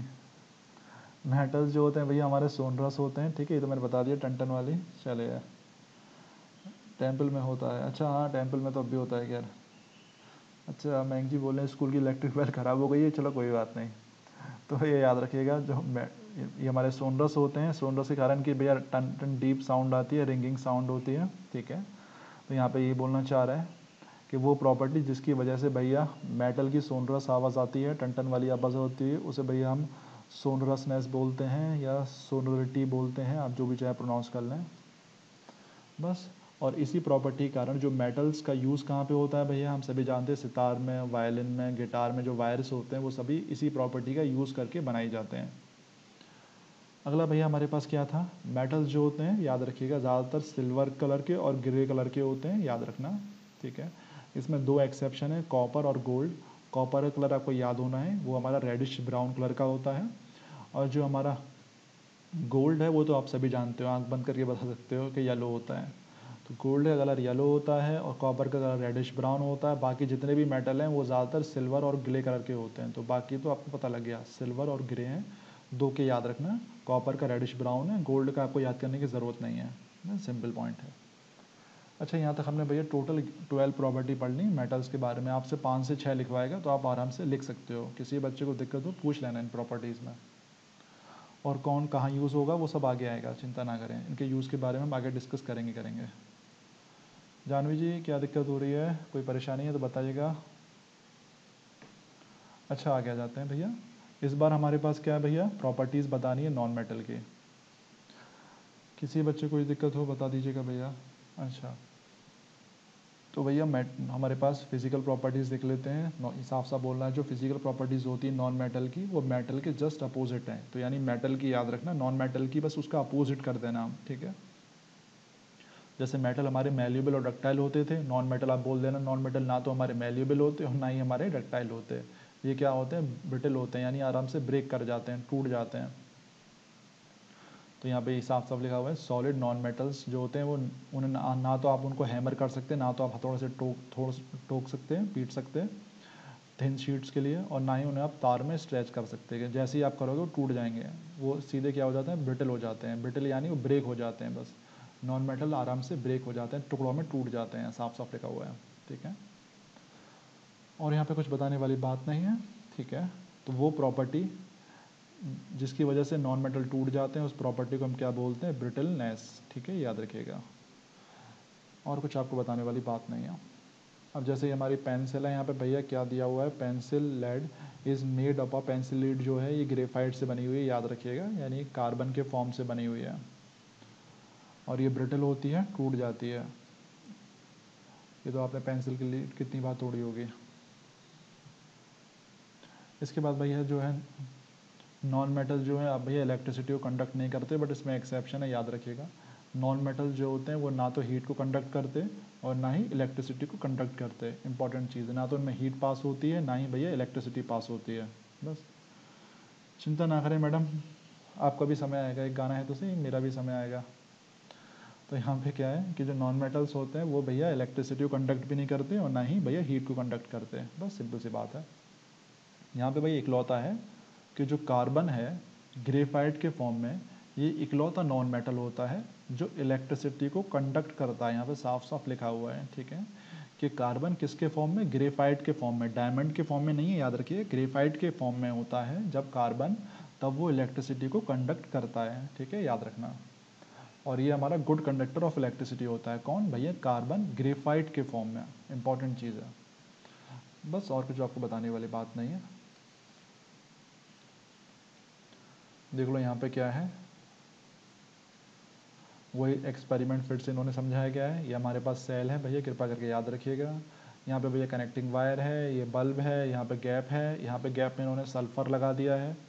अब भैया देखिए, तब भी आपका बल्ब जला नहीं। बल्ब क्यों नहीं चला क्योंकि भैया करंट जो है पास नहीं हो पा रहा सर्किट नहीं पूरा हो पा रहा सर्किट पूरा नहीं हो पा रहा तो नॉर्मल सी बात है बल्ब जलेगा नहीं। तो याद रखिएगा। मैडम, ऐसा क्यों होता है? मैडम एक्चुअली में इसमें एक इलेक्ट्रॉन फ्री हो जाता है। मैडम, आगे जब कार्बन कंपाउंड्स में डिस्कस करेंगे मैडम इसमें तो वहाँ पे क्या होता है, इसमें एक इलेक्ट्रॉन जो होता है, वो बेसिकली फ्री रह जाता है, खाली रह जाता है, उस कारण उसमें इलेक्ट्रॉन फ्लो कर जाते हैं। तो जब हम इसका इंटरनल स्ट्रक्चर देखेंगे ग्रेफाइट का और डायमंड का, तब आपको पता चलेगा कि डायमंड में इलेक्ट्रिसिटी क्यों नहीं पास होती है, और आपके ग्रेफाइट में क्यों पास हो जाती है, क्योंकि कार्बन का जो स्ट्रक्चर होता है, दोनों में वो डिफरेंट होता है थोड़ा सा। इसी कारण जो डायमंड होता है, काफ़ी हार्ड होता है ग्रेफाइट काफ़ी सॉफ्ट होता है। तो किसके कारण? उनके स्ट्रक्चर के कारण। तो कार्बन का जो स्ट्रक्चर होता है दोनों में डायमंड में और ग्रेफाइट में थोड़ा सा डिफरेंट होता है। तो इसमें क्या होता है, कुछ इलेक्ट्रॉन्स फ्री रहते हैं, ये सॉफ्ट होता है, इसमें कुछ भी चीज़ फ्री नहीं होती, ये इसलिए ये हार्ड होता है, ये हम आगे डीप में डिस्कस करेंगे। तो बस आप इतना समझ लो फ़िलहाल कि इस स्ट्रक्चर के कारण, जो ग्रेफाइट है, उसका स्ट्रक्चर थोड़ा सा डिफरेंट है। इस कारण उसमें इलेक्ट्रॉन्स कुछ फ्री रह जाते हैं, इसलिए उसमें इलेक्ट्रॉन्स इलेक्ट्रिसिटी आराम से पास हो जाती है। और कोई दिक्कत हो, मैडम बताइएगा। इसको हम डीप में तो आगे डिस्कस करेंगे करेंगे जब आपका कार्बन कंपाउंड्स हम पढ़ेंगे। वहाँ तो ये पूरा डीप में आएगा, पूरा एक दिन लग जाएगा समझाने में आपको। अच्छा नॉन मेटल जो होते हैं, याद रखिएगा नॉन लशरस होते हैं, इनमें कोई चमक नहीं होती है, ठीक है? ये भैया डल अपीरेंस के होते हैं, इसमें एक्सेप्शन याद रखिएगा, भैया आयोडीन जो है, भैया वो हमारा नॉन मेटल होता है, जिसमें लशरस चमक होती होती है, ठीक है? एक आपका डायमंड आपने बताई दिया था क्या? जो नॉन मेटल्स होते हैं, वो जनरली सॉफ्ट होते हैं ज़्यादातर एक्सेप्शन भैया डायमंड है, याद रखिएगा, बहुत ही ज़्यादा हार्ड होता है, ठीक है? तो यहाँ पे लिखा हुआ है only one non metal carbon किसके फॉर्म में? डायमंड के फॉर्म में। वो क्या होता है? बहुत ज़्यादा हार्ड होता है।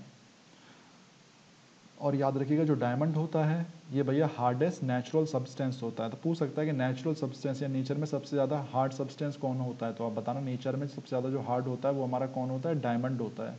बस इतना सिंपल सा पॉइंट है। और चिंता ना करें मैडम, जब हम कार्बन कंपाउंड्स पढ़ेंगे तो वहाँ और डीप में पढ़ेंगे। अच्छा आगे है हमारे पास। नॉन मेटल्स जो होते हैं, वो स्ट्रॉन्ग नहीं होते, वो आराम से टूट जाते हैं, ठीक है? जैसे भी आप उनमें वेट लटका देते हो तो अचानक से टूट जाएँगे। मेटल्स जो होते हैं, भाई, हम सभी जानते हैं, वो सॉलिड भी हो सकते हैं लिक्विड भी हो सकते हैं और गैस भी हो सकते हैं। ये हम सब डिस्कस कर चुके हैं। इसमें भैया, एक ही लिक्विड होता है, खासकर, वो आपको याद होना चाहिए। तो यहाँ पे यही है, मैं दिखा देता हूँ। कि जो नॉन मेटल्स होते हैं, वो तीनों स्टेट में होते हैं सॉलिड में भी लिक्विड में भी और गैस में भी। ठीक है? तो जैसे हमारे कार्बन है सल्फ़र और फॉस्फोरस ठीक है? ये हमारे सॉलिड स्टेट में पाए जाते हैं। जो ब्रोमीन है, इकलौता ही नाम याद रखिएगा। ये हमारा लिक्विड स्टेट में पाया जाता है। और हाइड्रोजन ऑक्सीजन नाइट्रोजन क्लोरीन ये हमारे भैया नॉन मेटल हैं, जो किसमें पाए जाते हैं? गैसियस स्टेट में पाए जाते हैं। बस इतना सिंपल सा पॉइंट है। नहीं मैडम हम जो है कंपनी में मैडम आप बना सकते हैं मैडम फैक्ट्रियों में आर्टिफिशियल डायमंड बन जाते हैं मैडम लेकिन बहुत ही छोटा साइज़ होता है इनका, ठीक है? बहुत ही छोटे साइज़ के डायमंड हम बना सकते हैं आर्टिफिशियली ऐसी कोई चिंता वाली बात नहीं है. लेकिन उनका साइज़ बड़ा नहीं हो पाता, छोटे डायमंड बन सकते हैं. और कोई डाउट हो बताइएगा. अगला क्या है यहाँ पे? जो नॉन मेटल्स होते हैं, उनका जो मेल्टिंग पॉइंट होता है, वो काफ़ी कम होता है, ठीक है? मेल्टिंग और बॉइलिंग पॉइंट काफ़ी कम होता है। एक्सेप्शन भैया, हमारा क्या है? डायमंड है। डायमंड का मेल्ट, हमारा, देखिएगा यहाँ पे कितना है मेल्टिंग पॉइंट? 3500 डिग्री सेल्सियस से भी ज़्यादा है, ठीक है? लेकिन जो है सल्फ़र का सल्फ़र का मेल्टिंग पॉइंट कितना लो है, आप देख सकते हैं 1150 तो जनरली जो है नॉन मेटल्स जो होते हैं जितने भी नॉन मेटल्स हैं, जनरली वो हमारा, उनका जो मेल्टिंग पॉइंट होता है, वो कम होता है। एक्सेप्शन याद रखिएगा, हमारा डायमंड है। डायमंड का काफ़ी ज़्यादा होता है। जो नॉन मेटल्स होते हैं, उनकी डेंसिटी भैया काफ़ी कम होती है। तो यहाँ पे देख लीजिए आप, एक सेंटीमीटर क्यूब का अगर हम सल्फ़र का ब्लॉक लेंगे तो उसके अंदर जो वेट होगा, वो सिर्फ़ टू ग्राम होगा। नॉन मेटल भैया टन टन की आवाज़ नहीं निकालते आर नॉन सोनरस ठीक है? They do not produce sound when hit ठीक है भैया? ये टन टन की आवाज़ नहीं निकालेंगे, मुबारक हो। इसके बाद भैया हमारे पास क्या है? आते हैं नॉन मेटल्स जो होते हैं भैया नॉर्मल सी बात है। डिफरेंट कलर के होते हैं, जैसे कि सल्फ़र येलो रंग का है फॉस्फोरस वाइट या रेड का हो सकता है, और भैया ग्रेफाइट ब्लैक का हो सकता है, इसमें कलर की कोई ज़रूरत नहीं याद करने की। क्लोरीन भैया येलोइश ग्रीन का होता है हाइड्रोजन और ऑक्सीजन आपके कलरलेस होते हैं। अच्छा आगे देखते हैं आगे क्या है। अच्छा देखिए यहाँ पे भैया यही है सल्फ़र को मेल्ट करा के दिखाया गया है यहाँ पे। The non metal sulphur has comparatively low melting point one one five degree Celsius it can be easily melted by heating तो देखिए यहाँ पे मेल्ट करते हुए दिखाया गया है सल्फ़र को, ठीक है? सल्फ़र पिघलता हुआ दिखाया गया सर ये नाइन्थ में भी था ना? हाँ भैया नाइन्थ में भी था, अभिषेक जी। हाँ मैडम रिकॉर्डिंग हो रही है। हाँ मैडम ग्रेफाइट का भी होता है, बहुत बढ़िया मैडम बेसिकली ग्रेफाइट और डायमंड सेम ही एक तरीके से कार्बन से बने हुए हैं। अच्छा अब भैया एक्सेप्शन याद रखिएगा, ये वाला चीज़ इंपॉर्टेंट थी कि भैया इलेक्ट्रिकल कंडक्टिविटी में क्या क्या एक्सेप्शन थे भैया मेटल और नॉन मेटल में? तो याद रखिएगा, जो हमारा कार्बन था ग्रेफाइट के फॉर्म में इकलौता नॉन मेटल था, जिसमें इलेक्ट्रिसिटी पास हो जाती थी। तो ये एक एक्सेप्शन है, ठीक है? लश्कर में भैया, लश्कर में भैया हम जानते हैं आयोडीन जो था वो हमारा नॉन मेटल था जिसमें शाइनी सरफेस थी, ठीक है? बाकी सारे नॉन मेटल डल होते हैं, लेकिन आयोडीन नॉन मेटल होने के बावजूद भी इसमें शाइनी सरफेस होती है। अगला है हमारा हार्डनेस और सॉफ्टनेस तो भैया यहाँ पे बोला गया है जो एल्कली मेटल्स होते हैं एल्कली मेटल्स जैसे कि भैया यहाँ पे क्या है? लिथियम सोडियम और पोटेशियम ये हमारे क्या होते हैं? सॉफ्ट होते हैं, ठीक है? एल्कली माने जो बेसिकली बेस बनाते हैं पानी के साथ मिल करके यहाँ पे यही है एल्कली मेटल्स जो होते हैं वो बेसिकली आपके सॉफ्ट होते हैं। जैसे कि मैंने आपको बता दिया लिथियम हो गया सोडियम हो गया पोटेशियम हो गया। और लेकिन जो नॉन मेटल में जो कार्बन था, वो एक एक्सेप्शन था किसके फॉर्म में? डायमंड के फॉर्म में, जो भैया नॉन मेटल होने के बावजूद भी आपका काफ़ी हार्ड था। तो यहाँ पे ये बोलना चाह रहे हैं। यहाँ पे बस एक्सेप्शन चल रहे हैं वाले। इसके बाद हमारे पास क्या है? फ़िज़िकल स्टेट में चेक कर लेते हैं। फ़िज़िकल स्टेट में जो भैया मरकरी थी, याद रखिएगा, वो भैया इकलौती मेटल थी जो लिक्विड स्टेट में पाई जाती है। ठीक है? रूम टेम्परेचर पर इसके बाद भैया हमारे क्या एक्सेप्शन बच रहे हैं? यहाँ पे छोटे से और बच रहे हैं। भैया, जो हमारे पास मेल्टिंग पॉइंट और बॉइलिंग पॉइंट जो होता है पोटेशियम सोडियम सेसियम और गैलियम ये इकलौते कुछ मेटल्स हैं जिनका मेल्टिंग पॉइंट जो होता है काफ़ी कम होता है। भैया नॉन मेटल में एक्सेप्शन की बात करें तो जो डायमंड होता है, वो इकलौता नॉन मेटल है, जिसका भैया मेल्टिंग पॉइंट काफ़ी ज़्यादा हाई होता है। बेसिकली कार्बन की बात हो रही है यहाँ पर डेंसिटी भैया, हम चेक कर सकते हैं। डेंसिटी भैया नॉर्मल सी बात है। मेटल्स की हाई होती है। एक्सेप्शन क्या थे आपके? लिथियम सोडियम और हमारे पोटेशियम हाँ ओके कोई बात नहीं, जा सकते हैं विशाल जी, आराम से जाएँ। दे हैव लो डेंसिटी कोई दिक्कत वाली बात हो बता देना। अच्छा भैया यहाँ तो कोई डाउट हो, पूछ लो कृपा करके किसी बच्चे को। अभिषेक जी बताओ। बेसिकली हमने सारे प्रॉपर्टीज़ देख ली मेटल्स नॉन मेटल्स अब हमारी केमिकल प्रॉपर्टीज़ आएँगी, थोड़ा सा इंपॉर्टेंट है। तो भैया, किसी बच्चे को बताइएगा, ज़रा सा दिक्कत हो। जानवी जी, ठीक है, जानवी जी शायद चली गई। अभिषेक जी, कोई दिक्कत हो? मैंग जी, बढ़िया सब। माने जी, कोई दिक्कत हो बताना यहाँ तक? आराम से पूछ लो, एक मिनट का टाइम है।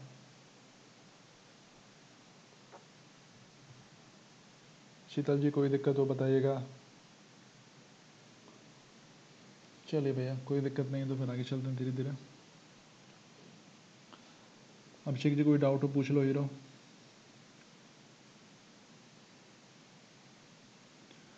अगर कोई डाउट नहीं है तो बहुत बढ़िया है।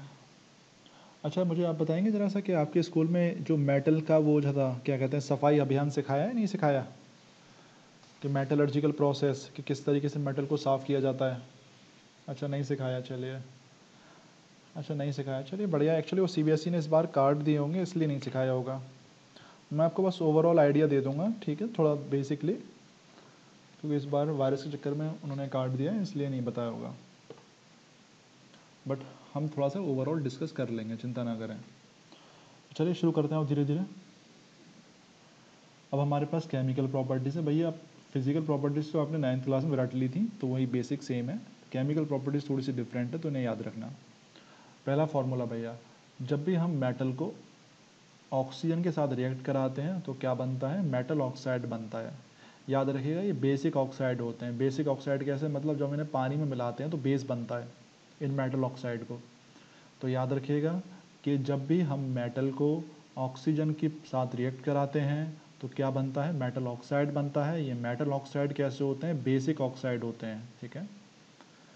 तो यहाँ पे साफ़ साफ़ है metal react with oxygen to form metal oxides metal oxide जो होते हैं, ये बेसिक नेचर में होते हैं, ठीक है? इनका बेसिक नेचर होता है।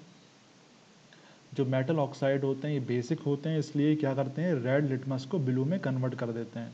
तो क्वेश्चन यहाँ से काफ़ी सारे बनते हैं। पहला क्वेश्चन यही बनता है कि मेटल और ऑक्सीजन को जब हम रिएक्ट कराते हैं तो क्या आएगा? तो आप बताएँगे मेटल ऑक्साइड आता है। फिर आप बताएँगे कि इसका कैसा नेचर होता है। आप बताएँगे बेसिक नेचर होता है। इसका मतलब ये रेड को ब्लू कर देता है रेड लिटमस को। ये काफ़ी सारी चीज़ें इंपॉर्टेंट हैं। इसके बाद क्या है कि जो रिएक्शन होती है मेटल और ऑक्सीजन की, वो डिपेंड करती है मेटल पर कि मेटल कितना ज़्यादा रिएक्टिव है। ठीक है, अगर मेटल बहुत ज़्यादा रिएक्टिव है तो रिएक्शन बहुत ज़्यादा फास्ट हो जाएगी। मेटल अगर कम रिएक्टिव है तो रिएक्शन इतनी फास्ट नहीं होगी, ठीक है? मैंने आपको बता दिया रिएक्शन डिपेंड करती है कि मेटल कितना ज़्यादा रिएक्टिव है।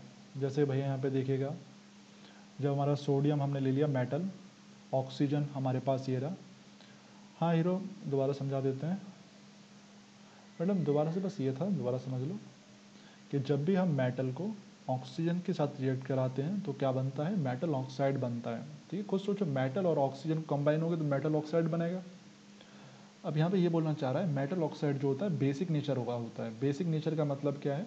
मतलब बेसिक ऑक्साइड का क्या मतलब है कि इसका बेसिक नेचर है। बेसिक नेचर का मतलब है जब ये पानी से मिलेगा तो प्रॉपर बेस बनाएगा। तो यहाँ पे ये बोला गया है कि जो मेटल ऑक्साइड होते हैं, वो बेसिक ऑक्साइड होते हैं। बेसिक ऑक्साइड का मतलब है पानी के साथ मिलकर पूरा बेस बनता है। अब आगे ये बोलना चाह रहा है कि जब मेटल ऑक्साइड हमारे बेसिक होते हैं तो इसका मतलब क्या है? ये रेड लिटमस को किसमें कन्वर्ट कर देते हैं? ब्लू में कन्वर्ट कर देते हैं। तो यहाँ पे यही चीज़ बोली गई है। अब शीतल जी, कोई दिक्कत नहीं है डन हो गया। अभिषेक जी, कोई दिक्कत हो, पूछ लेना। और आगे ये बोला था, ये जो रिएक्शन होती है किस पर डिपेंड करती है? कि जो हमारा मेटल है, वो कितना ज़्यादा रिएक्टिव है। अगर मेटल ज़्यादा रिएक्टिव है तो रिएक्शन बहुत ज़्यादा फास्ट हो जाती है। मेटल कम रिएक्टिव है तो रिएक्शन बहुत ज़्यादा स्लो होती है। अच्छा। जैसे यहाँ पे चेक करो आप।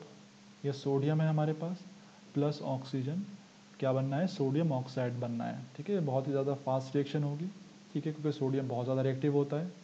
ऐसे अगर आप पोटेशियम ले लेते हो सोडियम की जगह ऑक्सीजन से रिएक्ट कराते हो तो क्या बनता है भैया? पोटेशियम ऑक्साइड बनता है, ठीक है? सोडियम से कराओगे तो सोडियम ऑक्साइड बनेगा पोटेशियम से कराओगे तो पोटेशियम ऑक्साइड का बनेगा, ठीक है? तो अपने आप आप रिएक्शन लिख लेना, यहाँ पे लिखा हुआ है कि अपने आप आप रिएक्शन लिख सकते हो। अच्छा तो देखिए यहाँ पे शायद रिएक्शन है। तो ये रिएक्शन हो रही है, जब हमें सोडियम का जो ब्लॉक होता है सोडियम को आप अगर नॉर्मली एयर में रख देते हो तो उनमें रिएक्शन हो जाती है एक साथ। देखिए यहाँ पे रिएक्शन हो रही है अनहार की तरफ़। और यहाँ पे हमारा क्या बनना है? सोडियम ऑक्साइड बनना है, ठीक है? तो इंपॉर्टेंट चीज़ है। तो यहाँ पे साफ़ साफ़ लिखा हुआ है कि जो पोटेशियम है और जो सोडियम मेटल है, वो एयर के साथ बहुत ही तुरंत रिएक्ट करते हैं, ठीक है? जैसे ही आप उनको रखते हो एयर की प्रेजेंस में। वो तुरंत उनमें आग लग जाती है और वो बर्न होना शुरू हो जाते हैं। तो इसी कारण जो पोटेशियम मेटल होता है और जो सोडियम मेटल होते हैं, उन्हें हम कैरोसिन ऑयल के अंदर रखते हैं। याद रखिएगा एयर में नहीं रखे रहते नॉर्मली कहीं रखे रहते हों। ठीक है, इस तरीके से नहीं होता। ये हमेशा भैया कैरोसिन ऑयल में रखे रहते हैं ताकि ये ऑक्सीजन के प्रेजेंस में ना आए। ठीक है, अगर ऑक्सीजन के प्रेजेंस में आ गए तो नॉर्मल सी बात है, इनमें आग लग जाएगी रिएक्शन हो जाएगी। ठीक है तो यहाँ चीज़ ये बोली गई है। ऑक्सीजन मॉइस्चर या फिर कार्बन डाइऑक्साइड उनके पास नहीं आनी चाहिए किसी भी तरीके से। बस, और कुछ बताने वाली बात नहीं है आपको। अच्छा इसके बाद और रिएक्टिव मेटल दूसरा रिएक्टिव मेटल यहाँ पे क्या दिया हुआ है? लिथियम दिया हुआ है। लिथियम भी भैया इसी तरीके से रिएक्शन होती है, और उसको भी हम भैया कैरोसिन ऑयल में रखते हैं, ठीक है? ताकि उसके पास ऑक्सीजन कहीं से भी ना जाए। ऑक्सीजन मॉइस्चर या फिर कार्बन डाइऑक्साइड कहीं से भी उसे ना मिले। बस, याद रखिएगा इंपॉर्टेंट था। कि जो लिथियम होता है सोडियम होता है और पोटेशियम होता है, इन्हें हम एल्कली मेटल बोलते हैं, ठीक है? क्यों बोलते हैं? Because they belong to a group of metals called alkali metals यानी बेसिकली ये एल्कली मेटल ग्रुप से बिलोंग करते हैं। इसके बारे में हम आगे लास्ट चैप्टर में आपके डिस्कस करेंगे, ठीक है? ये क्या होते हैं? तो याद रखिएगा, इन्हें हम एल्कली मेटल्स बोलते हैं, क्योंकि ये एल्कली मेटल ग्रुप में बिलोंग करेंगे। अब ये क्या चक्कर है, इनके बारे में हम आगे डिस्कस करेंगे करेंगे। यहाँ पे ये बोला गया है कि जित, ज़्यादातर ज़्यादातर जो मेटल ऑक्साइड्स होते हैं, वो पानी में पूरी तरीके से मिक्स नहीं होते इंसॉल्युबल होते हैं। लेकिन कुछ मेटल जो ऑक्साइड होते हैं, वो पानी में पूरी तरीके से मिक्स हो जाते हैं और एल्कलीज बना लेते हैं। एल्कलीज यानी प्रॉपर बेस बना लेते हैं। एल्कलीज मैंने आपको बताया था कि जो पानी में मिल करके पूरी तरीके से बेस जो बेस पानी में पूरी तरीके से मिल जाते हैं, उन्हें हम क्या बोलते हैं? एल्कलीज बोलते हैं। तो जैसे देखो ये अभी हमारा सोडियम ऑक्साइड बना था। जब ये अभी हमने सोडियम को जब बर्न किया था, ऑक्सीजन की प्रेजेंस में लाए थे हम तो सोडियम ऑक्साइड बना था। ये सोडियम ऑक्साइड बेसिक ऑक्साइड है। जब हमने इसमें पानी मिला दिया तो देखिए एक प्रॉपर बेस बन गया। और प्रॉपर बेस कौन सा है? सोडियम हाइड्रोक्साइड जो कि एक प्रॉपर एल्कली है। ठीक है? इसी तरीके से ये जो पोटेशियम ऑक्साइड है, पानी की प्रेजेंस में जब हम इसे लाए तो भैया हमारे पास क्या बनता है? पोटेशियम हाइड्रो ऑक्साइड ठीक है, ये भी एक प्रॉपर बेस है। अभी हमने पोटेशियम को बर्न किया था मतलब बेसिकली पोटेशियम को ऑक्सीजन की प्रेजेंस में लाए थे तो ऑटोमेटिकली वो बर्न हो गया था। तो क्या बनना था? पोटेशियम ऑक्साइड बनना था। पोटेशियम ऑक्साइड को हमने भैया पानी में डाल दिया, ठीक है? तो भैया क्या बन गया? पोटेशियम हाइड्रोक्साइड बन गया। अच्छा मैडम पोटेशियम में नहीं रख सक कीप नहीं कर सकते? मैडम पेट्रोल में, मैडम पेट्रोल में यह है, कहीं ऑक्सीजन उसके अंदर ऑक्सीजन वाले कंपाउंड्स मैडम रख के ट्राई कीजिएगा मैडम। मुझे आइडिया नहीं है। पेट्रोल में रख सकते हैं, नहीं रख सकते या रिएक्शन हो जाती है। आप एक बार चेक करना या फिर मैं चेक करके आपको बता दूँगा। क्योंकि बस उसे कहीं से भी ऑक्सीजन नहीं मिलनी चाहिए। बस ऑक्सीजन मिल जाएगी तो रिएक्शन हो जाएगी। हाँ सोडियम नहीं है पोटेशियम हाँ मैडम। चिंता ना करें मैडम, इसके बारे में सर्च करके बताऊँगा मैं आपको। कि पेट्रोल का क्या चक्कर है? पेट्रोल में रख सकते हैं, सोडियम को नहीं रख सकते अगला क्या है भैया हमारे पास? Mat, magnesium. अभी हमने सोडियम देखा था। इसके बाद भैया हमने पोटेशियम देखा। इसके बाद भैया अब हम मैग्नीशियम देख लेंगे। याद रखिएगा भैया does not react with oxygen at room temperature यानी नॉर्मली जो होता है, मैग्नीशियम ऑक्सीजन से रिएक्ट नहीं करता। इसको आपको हीट करना पड़ता है। सोडियम और पोटेशियम को हमने बस ऑक्सीजन में ऐसे ही रख दिया था रूम टेम्परेचर पर आकर के आप आराम से टेबल पर रख दीजिए तो ये ऑटोमेटिक अपने आप जल जाएँगे, इनमें अपने आप रिएक्शन हो जाएगी, आपको कुछ करना नहीं है। लेकिन भैया मैग्नीशियम को आप रख दीजिए तो कुछ होगा नहीं उसके साथ। उसको आपको रिएक्शन कराने के लिए उसे गर्म करना पड़ेगा। तो यहाँ पर यही बोला गया है कि रूम टेम्परेचर पर इस पर रिएक्शन नहीं होती है। इसे आपको पहले हीट करना पड़ता है। जब आप हीट करते हैं, तब भैया हम जानते हैं वो बर्न होता है, ठीक है? उसके अंदर से लाइट निकलती है इंटेंस हीट एंड लाइट और वो क्या बनाता है? मैग्नीशियम ऑक्साइड बनाता है। और आपको पहले चैप्टर में मैंने बताया था मैग्नीशियम रिबन है। मैग्नीशियम का एक तार होता है, आप शायद एक्सपेरिमेंट कराया जाए कि जब आप उसे जलाते हैं तो एक तरीके से फुलझड़ी की तरह जलता है, देसी भाषा में समझ लें तो। मैग्नीशियम है, जब आप उसे हीट करते हैं ऑक्सीजन की प्रेजेंस में तो भैया क्या बनता है हमारा? मैग्नीशियम ऑक्साइड बनता है। ये एक तरीके से वाइट पाउडर होता है, ये हम फ़र्स्ट चैप्टर में डिस्कस कर चुके थे। और आगे क्या है? कि जब ये जो मैग्नीशियम ऑक्साइड बन रहा है ठीक है, मैग्नीशियम ऑक्साइड ये रहा। जब आप इसे पानी की प्रेजेंस में लाते हैं इरेक्शन कराते हैं तो क्या बनता है हमारा? मैग्नीशियम हाइड्रोक्साइड बनता है। ये क्या होता है? एक बेस होता है। ठीक है, याद रखिएगा। तो पूछ सकते हैं, पहले आपसे पूछा जाएगा कि ऑक्सीजन की प्रेजेंस में क्या रिएक्शन होती है तो ऊपर वाले लिख दीजिएगा। फिर कहा जाएगा आपसे कि वो जो बेस बनाया है, यानी बेसिक ऑक्साइड जो बनाया उसको पानी के साथ रिएक्ट कराइए। तो फिर आपको ये वाली रिएक्शन लिखनी होगी। ठीक है तो दोनों रिएक्शन आपको समझनी है। याद नहीं करनी, समझना है। अच्छा आगे आ जाते हैं कोई भी डाउट हो, पूछ लेना। और यही भैया मैग्नीशियम हाइड्रोक्साइड जब पानी में मिला हुआ होता है, इसका सॉल्यूशन हम जानते हैं मिल्क ऑफ़ मैग्नीशिया कहलाया जाता है, ठीक है? तो जब आपको एसिडिटी होती है तो इसे हम खा लेते हैं, ताकि वो एसिड बेस से रिएक्ट कर जाता है और न्यूट्रल हो जाता है, ठीक है?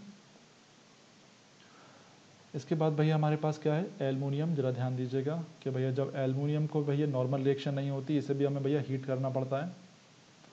तो भैया, जब भी हम एलमिनियम को ऑक्सीजन की प्रेजेंस में हीट करते हैं तो उसे क्या बनता है भैया? एलमिनियम ऑक्साइड बनता है और इसका ये क्या होते हैं? एम्फोटेरिक ऑक्साइड होते हैं। अच्छा कौन बताएगा एम्फोटेरिक ऑक्साइड क्या होते हैं? अपनी लैंग्वेज में बताइएगा, ये एम्फोटेरिक ऑक्साइड क्या होते हैं? बहुत ही इंपॉर्टेंट नाम है, अक्सर आता है कॉम्पिटिशन क्वेश्चन में पेपर में। कौन बताएगा आप में से? एम्फोटेरिक ऑक्साइड, अपनी लैंग्वेज में बताओ, क्या होता है? किसी बच्चे को पता हो।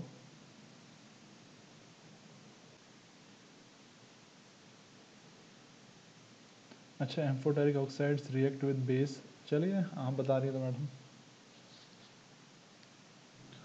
चलिए भैया देख लेते हैं बैंक जी हो हमारे साथ चलेगा छोड़ करके हमें। धोखा देगा हीरो। चलिए भैया। तो यहाँ पे क्या बोलना चाह रहे हैं? ज़रा समझिएगा कि जो ज़्यादातर जो मेटल ऑक्साइड होते हैं, ज़्यादातर जो मेटल ऑक्साइड होते हैं, वो बेसिक नेचर के होते हैं, ठीक है? बट सम मेटल ऑक्साइड जो होते हैं वो बेसिक नेचर के भी हो सकते हैं shows basic as well as acidic nature यानी कुछ मेटल ऑक्साइड जो बेसिक और एसिडिक दोनों नेचर को शो करते हैं, उनको हम बोलते हैं एम्फोटेरिक ऑक्साइड्स तो यहाँ पे भी है कि those metal oxides which show basic as well as acidic behaviour यानी वो मेटल ऑक्साइड जो बेसिक और एसिडिक दोनों बिहेवियर को शो करते हैं, उन्हें हम क्या बोलते हैं भैया? एम्फोटेरिक ऑक्साइड बोलते हैं, ठीक है? अब इसमें कौन से आते हैं? याद रखिएगा, दो ही हैं हमारे सिलेबस में, एक तो एल्मोनियम ऑक्साइड है और दूसरा भैया जिंक जिंक है भैया हमारे पास एल्मोनियम मेटल का एल्मोनियम ऑक्साइड होगा ये वाला, एक भैया जिंक मेटल का जिंक ऑक्साइड होगा, इसके बारे में भी आगे डिस्कस करेंगे, ठीक है? तो बस यहाँ पे यही बोला गया है तो यहाँ पे लिखा हुआ है, देखो एल्मोनियम ऑक्साइड है, एक हमारे पास जिंक ऑक्साइड जो है, ये दोनों ही एम्फोटेरिक ऑक्साइड होते हैं एम्फोटेरिक का मतलब है जो एसिडिक कैरेक्टर और बेसिक कैरेक्टर भी शो करते हैं, ठीक है? अच्छा भैया, आगे हम इसके बारे में डीप में डिस्कस करने ही वाले हैं तो चिंता ना करो, समझ क्या होता है इसके बारे में हम देखेंगे। तो यहाँ पे साफ़ साफ़ लिखा हुआ है कि जो एम्फोटेरिक ऑक्साइड्स होते हैं, वो भैया एसिड से भी रिएक्ट कर सकते हैं और बेस से भी रिएक्ट कर सकते हैं और क्या बनाते हैं? सॉल्ट और वाटर बनाते हैं। याद रखिएगा। तो एम्फोटेरिक ऑक्साइड्स वो कंपाउंड्स होते हैं जो एसिड से भी रिएक्ट कर सकते हैं और बेस से भी रिएक्ट कर सकते हैं और हमेशा ही क्या बनाते हैं? सॉल्ट और वाटर बनाते हैं। उनको हम क्या बोलते हैं? एम्फोटेरिक ऑक्साइड्स बोलते हैं। आपको समझ में आ गया होगा कि एम्फोटेरिक ऑक्साइड्स क्या होते हैं? वो रे वो कंपाउंड्स जो भैया एसिड से भी रिएक्ट करें और जो बेस से भी रिएक्ट करें, दोनों ही केस में क्या बनाए? सॉल्ट और वाटर बनाए। उनको हम क्या बोलते हैं? एम्फोटेरिक ऑक्साइड बोलते हैं। एग्ज़ाम्पल समझते हैं आपको। देखो क्या एग्ज़ाम्पल है। तो देखो भैया, अभी हमने क्या बनाया था? एल्मोनियम था। एल्मोनियम को जब हमने ऑक्सीजन की प्रेजेंस में बर्न किया था तो यहाँ पे क्या बना? एल्मोनियम ऑक्साइड बना। ठीक है? इसको उन्होंने क्या बोला? Amphoteric oxide. अब इसका मतलब क्या है? तो देखो यहाँ पे, ये जो एल्मोनियम ऑक्साइड है, जो भी ऊपर करके जो हमारा बर्न होके बना था, उसको जब हमने एसिड से मिलाया, एसिड से मिलाया तो क्या बना है? एल्मोनियम क्लोराइड बना हुआ है। देखो एल्मोनियम क्लोराइड, ये भी एक नमक होता है और वाटर होता है। ठीक है? आगे आते हैं और रिएक्शन में। और इसी की तो यहाँ पे ज़रा चेक करें यहाँ पे ये एसिड था एल्मोनियम ऑक्साइड तो यहाँ पे इसने अपनी प्रॉपर्टी कौन सी दी? बेसिक दी। ठीक है? यहाँ पे खुद सोचिएगा एसिड और बेस जब कंबाइन होते, तभी तो सॉल्ट और वाटर बनता है। हमारे पहले चैप्टर की रिएक्शन तो यहाँ पे जो एल्मोनियम ऑक्साइड था, यहाँ पे उसने बेस की तरह काम किया। बेस ने एसिड के साथ रिएक्ट किया तो क्या बनाया सॉल्ट और वाटर बना। इसके बाद देखो यहाँ पे एल्युमिनियम ऑक्साइड है। जब बेस के साथ रिएक्ट कर रहा है रिएक्ट हो रहा है तो क्या बनना है? सोडियम एल्यूमिनेट बनना है। ये एक सॉल्ट है और हमारा वाटर है। तो चेक करो, यहाँ पे बेस के साथ रिएक्ट कर रहा है। तो यहाँ पे ये कौन है? ये एसिड है। तो यहाँ पे ये एसिड है। एसिड जो है, बेस की से रिएक्ट कर रहा है। तो क्या बनना है भैया? सॉल्ट बन रहा है। ठीक है? तो आपको समझ में आ गया? एम्फोटेरिक ऑक्साइड क्या होते हैं? जिनमें भैया बेसिक प्रॉपर्टी भी शो करते हैं वो। यहाँ पे बेसिक प्रॉपर्टी शो करी उसने। बेस ने एसिड के साथ रिएक्ट किया सॉल्ट और वाटर बना। और वही एसिडिक प्रॉपर्टी भी शो करते हैं, क्योंकि यहाँ पे एसिड जो था बेस के साथ रिएक्ट हुआ तो क्या बना? सॉल्ट और वाटर बना। तो अभिषेक जी, आपको समझ में आ गया एम्फोटेरिक ऑक्साइड क्या होते हैं? जो कभी कभार बेस की प्रॉपर्टी भी शो करते हैं, और एसिड की प्रॉपर्टी भी शो करते हैं। कोई भी दिक्कत हो, पूछ लीजिएगा। ओके तो यानी वो कंपाउंड्स वो कंपाउंड्स जो एसिडिक प्रॉपर्टी शो करें और जो बेसिक प्रॉपर्टी शो करें, यानी बेसिकली हम ये बोल सकते हैं वो कंपाउंड जो एसिड से रिएक्ट करते हैं सॉल्ट और वाटर बनाते हैं, और वही कंपाउंड बेस से रिएक्ट करते हैं, तब भी सॉल्ट और वाटर बनाते हैं तो उन्हें हम क्या बोलते हैं? एम्फोटेरिक ऑक्साइड्स बोलते हैं। इंपॉर्टेंट चीज़ है। तो यहाँ पे देख लो, यहाँ पे एल्मोनियम ऑक्साइड जो है, उसने कैसा बिहेव किया? बेसिक ऑक्साइड का बिहेव किया। यहाँ पे एल्युमिनियम ऑक्साइड ने कैसा बिहेव किया? एसिडिक ऑक्साइड का बिहेव किया, क्योंकि यहाँ पे एसिड था यहाँ पे। एसिड प्लस बेस क्या बना? सॉल्ट और वाटर बना। तो ये अक्सर आता है, बहुत ही इंपॉर्टेंट है। इसके बाद भाई हमारे पास क्या है? ये जिंक वाला, ये भी हमारा एम्फोटेरिक ऑक्साइड होता है। तो देखिएगा भाई जिंक जो है, वो भी हमारा ऑक्सीजन से रिएक्ट नहीं करता है, लेकिन हमें उसे बर्न करना पड़ता है, काफ़ी गर्म करना पड़ता है हीट करना पड़ता है, तब वो रिएक्ट करता है। क्या बनता है? जिंक ऑक्साइड, ठीक है? जिंक ऑक्साइड याद रखिएगा, हमारा क्या होता है? एम्फोटेरिक ऑक्साइड होता है। एम्फोटेरिक ऑक्साइड मैंने आपको बता दिया, जो भैया बोथ एसिडिक प्रॉपर्टी भी शो करता है और बेसिक प्रॉपर्टी भी शो करता है। इसीलिए हम इसे क्या बोलते हैं? एम्फोटेरिक ऑक्साइड बोलते हैं। एग्ज़ाम्पल देखते हो तो यही जो हमारा जिंक ऑक्साइड है तो देखिएगा। पहले हम इसे किससे रिएक्ट करा रहे हैं भैया? एसिड से रिएक्ट करा रहे हैं। ठीक है? एसिड से रिएक्ट करा रहे हैं तो क्या बनना है? जिंक क्लोराइड जो कि एक सॉल्ट है और एक वाटर है। तो भैया, यहाँ पे जो जिंक ऑक्साइड है बेसिकली यहाँ पे कौन सा प्रॉपर्टी शो करी है इसने? बेसिक प्रॉपर्टी शो करी है, ठीक है? हाँ मैडम कॉपर ऑक्साइड का फॉर्मूला अभी आगे आएगा, चिंता कर रही हो आप। तो यहाँ पे बेसिक एरा ठीक है? बेस ये रहा एसिड रहा तो क्या बनना है? सॉल्ट और वाटर तो यहाँ पे कौन सी प्रॉपर्टी शो करी है? बेसिक की प्रॉपर्टी शो करी है बेसिक ऑक्साइड की तो यहाँ पे लिखा हुआ है। जिंक ऑक्साइड जो है ऊपर वाली रिएक्शन में बेसिक ऑक्साइड की प्रॉपर्टी शो कर रहा है। इसके बाद आते हैं देखो, यही जो जिंक ऑक्साइड है, जब हम उसे ammonium hydroxide, sodium hydroxide, sorry, यानी बेस के साथ जब हम उसे रिएक्ट करा रहे हैं तो क्या बनना है? सोडियम जिंकेट बनना है, जो कि नमक है, और हमारा वाटर बन रहा है। तो देखो, यहाँ पे जिंक ऑक्साइड ने एसिडिक प्रॉपर्टी शो करी है, क्योंकि एसिड ये रहा, बेस ये रहा, ठीक है? तो हमारा सॉल्ट बन रहा है। तो याद रखिएगा, ये भी हमारा क्या था? एम्फोटेरिक ऑक्साइड था। मान्य जी, क्लियर है? कोई डाउट हो, पूछ लो यहाँ तक। मैंग जी, कोई दिक्कत हो, बताओ। तो आपको समझ में आ गया होगा कि एसिडिक ऑक्साइड क्या होते हैं।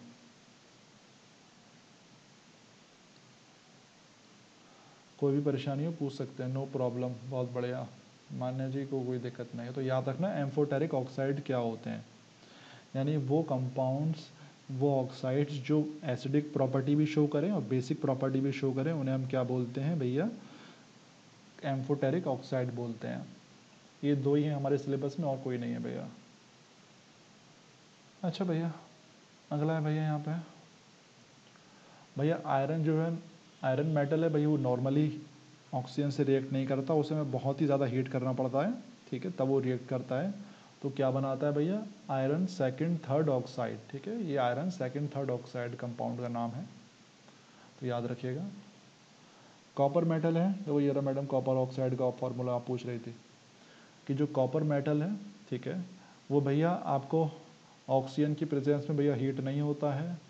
उसे हमें काफ़ी समय तक हीट करना पड़ता है, लगातार। तब भैया क्या बनता है वो? कॉपर सेकेंड ऑक्साइड बनता है। कॉपर ऑक्साइड बोल लीजिए कॉपर सेकेंड ऑक्साइड बोल लीजिए। कॉपर जब भी ऑक्सीजन से रिएक्ट करता है तो क्या बनता है? कॉपर सेकेंड ऑक्साइड बनता है। बस इतना सिंपल सा पॉइंट है। शीतल जी, कोई दिक्कत तो पूछ लेना, ठीक है? तो अभी हमने क्या किया है? मेटल को किससे रिएक्ट कराया है भैया? ऑक्सीजन को रिएक्ट कराया है। मेटल और ऑक्सीजन की हमने रिएक्शन देखी है बस। इसके बाद भैया हम क्या देखेंगे? मेटल और वाटर की रिएक्शन किसी बच्चे को भैया परेशानी हो, पूछ लेना। बहुत ही सिंपल पॉइंट है। इसके बाद भैया हमारे पास क्या है? कि reaction of metals and water भैया मेटल और वाटर की रिएक्शन है, देख लेते हैं क्या है। तो जरा देखना, बहुत ही सिंपल पॉइंट है छोटा सा। कि जब भी भैया मेटल हैं, जब भी मेटल पानी से रिएक्ट करते हैं तो भैया क्या बनता है? या तो मेटल हाइड्रोक्साइड बनता है, ठीक है, या फिर मेटल ऑक्साइड बनता है। और हाइड्रोजन गैस तो निकलती निकलती है। ठीक है, यहाँ पे ये चीज़ बोला गया है। अच्छा ये रिएक्शन आपको बताइए। मान्य जी और मैंग जी, अभिषेक जी रिएक्शन आपको बताइए? स्कूल में नहीं बताइए अभी। कि भैया, वो मेटल ऑक्साइड में कब बनता है? और मेटल हाइड्रोक्साइड में कब बनता है? और मेटल ऑक्साइड में कब बनता है? किसी बच्चे को बताया हो? चलो, कोई बात नहीं। मैंने बताया तो होगा, आप मज़े ले रही होगी। कोई परेशानी वाली बात नहीं, मैं समझा देता हूँ। तो भैया, यहाँ पे ये बोला गया है कि वो मेटल वो मेटल जो पानी से रिएक्ट कर जाते हैं, चाहे ठंडा पानी हो, चाहे गर्म पानी हो। यानी वो मेटल सर स्कूल वाले कुछ नहीं बता रहे हैं। सर अच्छा कोई बात नहीं, चलिए। हाँ मैडम चिंता ना करें। मान्य मान्य जी भी यस बोल रही हैं। चलिए, बहुत बढ़िया वाली बात है।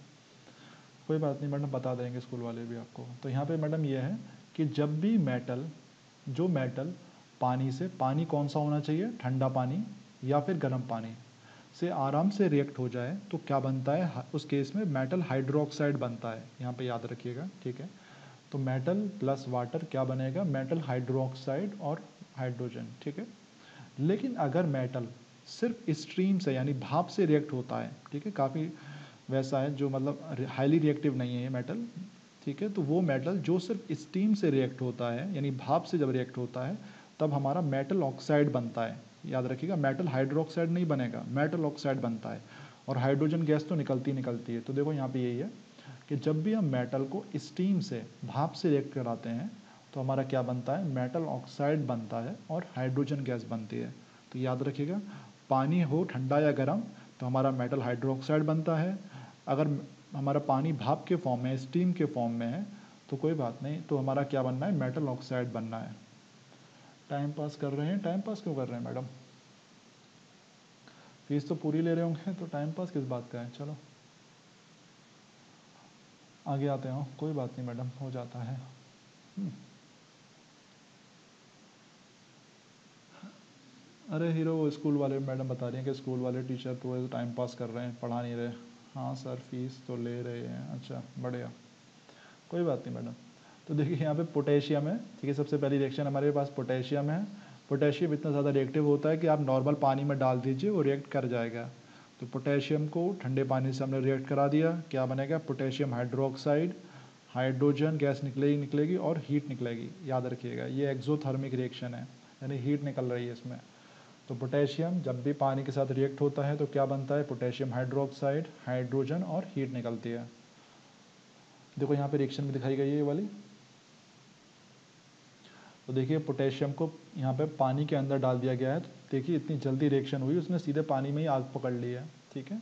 तो यहाँ पे ये लिखा हुआ है कि पोटेशियम मेटल जो है reacts violently with water to form potassium hydroxide and hydrogen gas ठीक है? यानी पोटेशियम हाइड्रोक्साइड बनेगा और हाइड्रोजन गैस बनेगा ठीक है? निकलेगी। बस यहाँ पे जो हीट प्रोड्यूस होती है during the reaction that burns hydrogen gas formed catches fire and burns explosively तो भैया यहाँ पे जो है, जो हीट निकल रही है, वो इस हाइड्रोजन के साथ कंबाइन हो जाती है और एक तरीके से पटाखे से फूटने लगते हैं, ठीक है? कोई भी दिक्कत हो बता दीजिएगा। तो बस रिएक्शन याद रखनी है और कुछ नहीं करना आपको। इसके बाद आ जाता है भैया तो देखो यहाँ पे वही लिखा हुआ है कि जो पोटेशियम था, जब पानी के साथ रिएक्शन होती है तो हाईली एक्जोथर्मिक होता है, यानी हीट प्रोड्यूस होती है, ठीक है? और भैया जो ये हाइड्रोजन गैस बनती है और वो फायर आग लग जाती है तुरंत ही, ठीक है? ऐसे ही हमारा भैया सोडियम है। सोडियम को भी जब ठंडे पानी से रिएक्ट कराते हैं, यानी नॉर्मल पानी में डाल दीजिए उसे तो वहाँ पे सोडियम हाइड्रोक्साइड बनता है। हमारे पास हाइड्रोजन गैस बनती है और हमारे पास हीट निकलती है, ठीक है? ये सिंपल सा पॉइंट है। तो दोनों में ही सेम चीज़ बन रही है। इसके बाद आ जाते हैं इसके बाद भैया हमारे पास क्या है? कैल्शियम है। कैल्शियम देखते हैं। कैल्शियम ये रहा हमारे पास। पानी ये रहा ठंडे पानी से रिएक्शन हो जाती है, याद रखिएगा। तो कैल्शियम हाइड्रोक्साइड बन रहा है और हाइड्रोजन बन रही है। ठीक है? इसके बाद आते हैं देखो यहाँ पे कैल्शियम की रिएक्शन एक तरीके से। कैल्शियम को जो पानी में डाल देते हैं आप, ठीक है? तो हम गैस के बुलबुले निकल रहे हैं यहाँ से। तो बेसिकली हाइड्रोजन के बुलबुले निकल रहे हैं यहाँ से, ये जो हाइड्रोजन है। ठीक है? इसमें कोई आग नहीं लगती, ये कोई इतनी ज़्यादा खतरनाक रिएक्शन नहीं है कि आपको इसमें आग लग जाए। तो याद रखिएगा, इसमें कोई भी आग नहीं लगती है। अच्छा इसके बाद आते हैं इसके बाद भैया हमारे पास, याद रखिएगा, जो मैग्नीशियम होता है, ये ठंडे पानी से रिएक्ट नहीं होता। Not does not react with cold water यहाँ पे याद रखिएगा। ये हमेशा हॉट वाटर से रिएक्ट होता है। या तो हॉट वाटर से रिएक्ट होगा, या फिर स्टीम से रिएक्ट होगा। तो भैया, यहाँ पे जो मैग्नीशियम मेटल है, याद रखिएगा, ठंडे पानी से रिएक्ट नहीं होता है, ये हमेशा गर्म पानी से रिएक्ट होता है, ठीक है, या फिर स्टीम से रिएक्ट होता है। मैंने आपको बताया था, अगर गर्म पानी या ठंडे पानी से रिएक्शन हो तो हर केस में क्या बनता है भैया, मैग्नीशियम हाइड्रोक्साइड बनता है। तो देखिएगा, यहाँ पे मैग्नीशियम हाइड्रोक्साइड बन रहा है और हमारा हाइड्रोजन बन रही है, ठीक है। लेकिन जब हम इसे स्टीम से भाप से रिएक्ट कराते हैं तो देखिए क्या बन रहा है मैग्नीशियम ऑक्साइड बनना है, यहाँ पे हाइड्रोक्साइड नहीं बन रहा, आप ये देख रहे होगे, ये बहुत ही इंपॉर्टेंट है। और हाइड्रोजन बन रही है। तो क्वेश्चन यहाँ पे यही आ जाता है कि भैया मैग्नीशियम को जब हम पानी से रिएक्ट कराते हैं, गर्म पानी से तो क्या बनता है? तो आप बताना मैग्नीशियम हाइड्रोक्साइड बनता है। और फिर क्वेश्चन यही आ जाता है कि जब मैग्नीशियम को हम भाप से रिएक्ट कराते हैं तो क्या बनता है? तो आप बताना मैग्नीशियम ऑक्साइड बनता है। ठीक है, दोनों चीज़ लिखी हुई है बहुत ही इंपॉर्टेंट पॉइंट है। कोई भी दिक्कत हो, बता दीजिएगा। ठीक है? अच्छा आगे आते हैं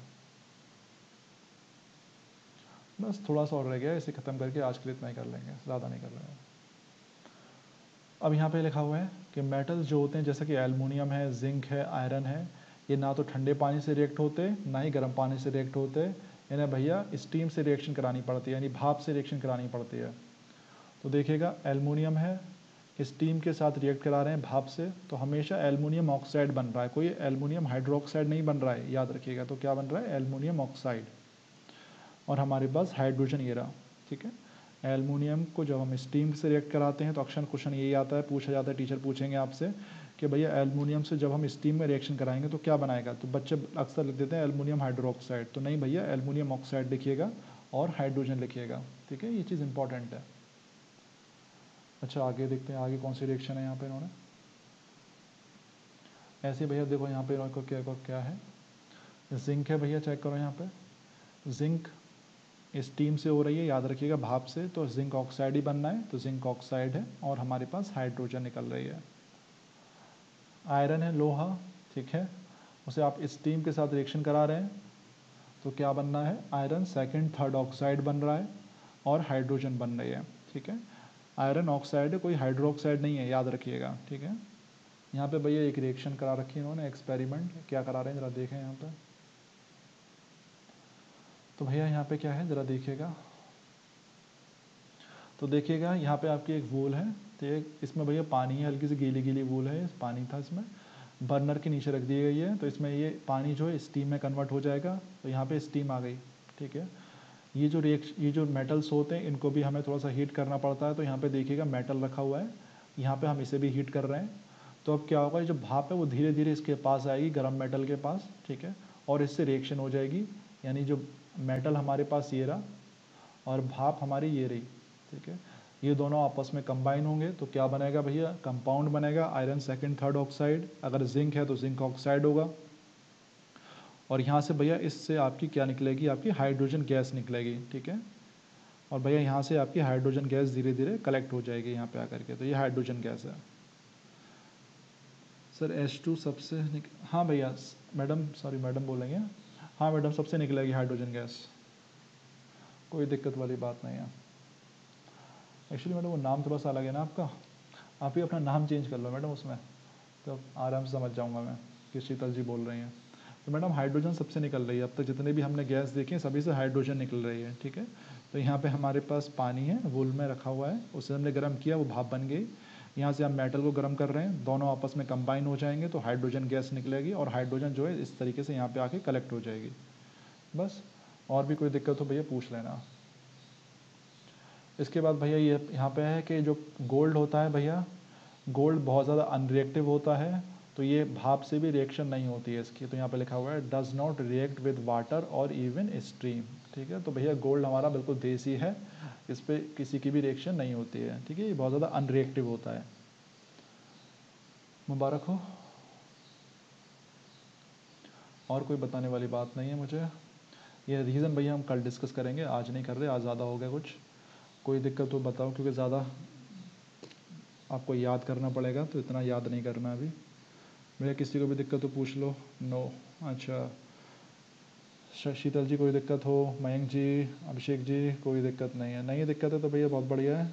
तो भैया फिर आज के लिए इतना ही कर लेते हैं। सभी को हमारा क्या है? गुड इवनिंग है। कोई डाउट हो हीरो पूछ लेना। हाँ मैडम थैंक यू आपका भी। आप आए सभी बच्चे। चलिए इन्जॉय कीजिएगा भैया।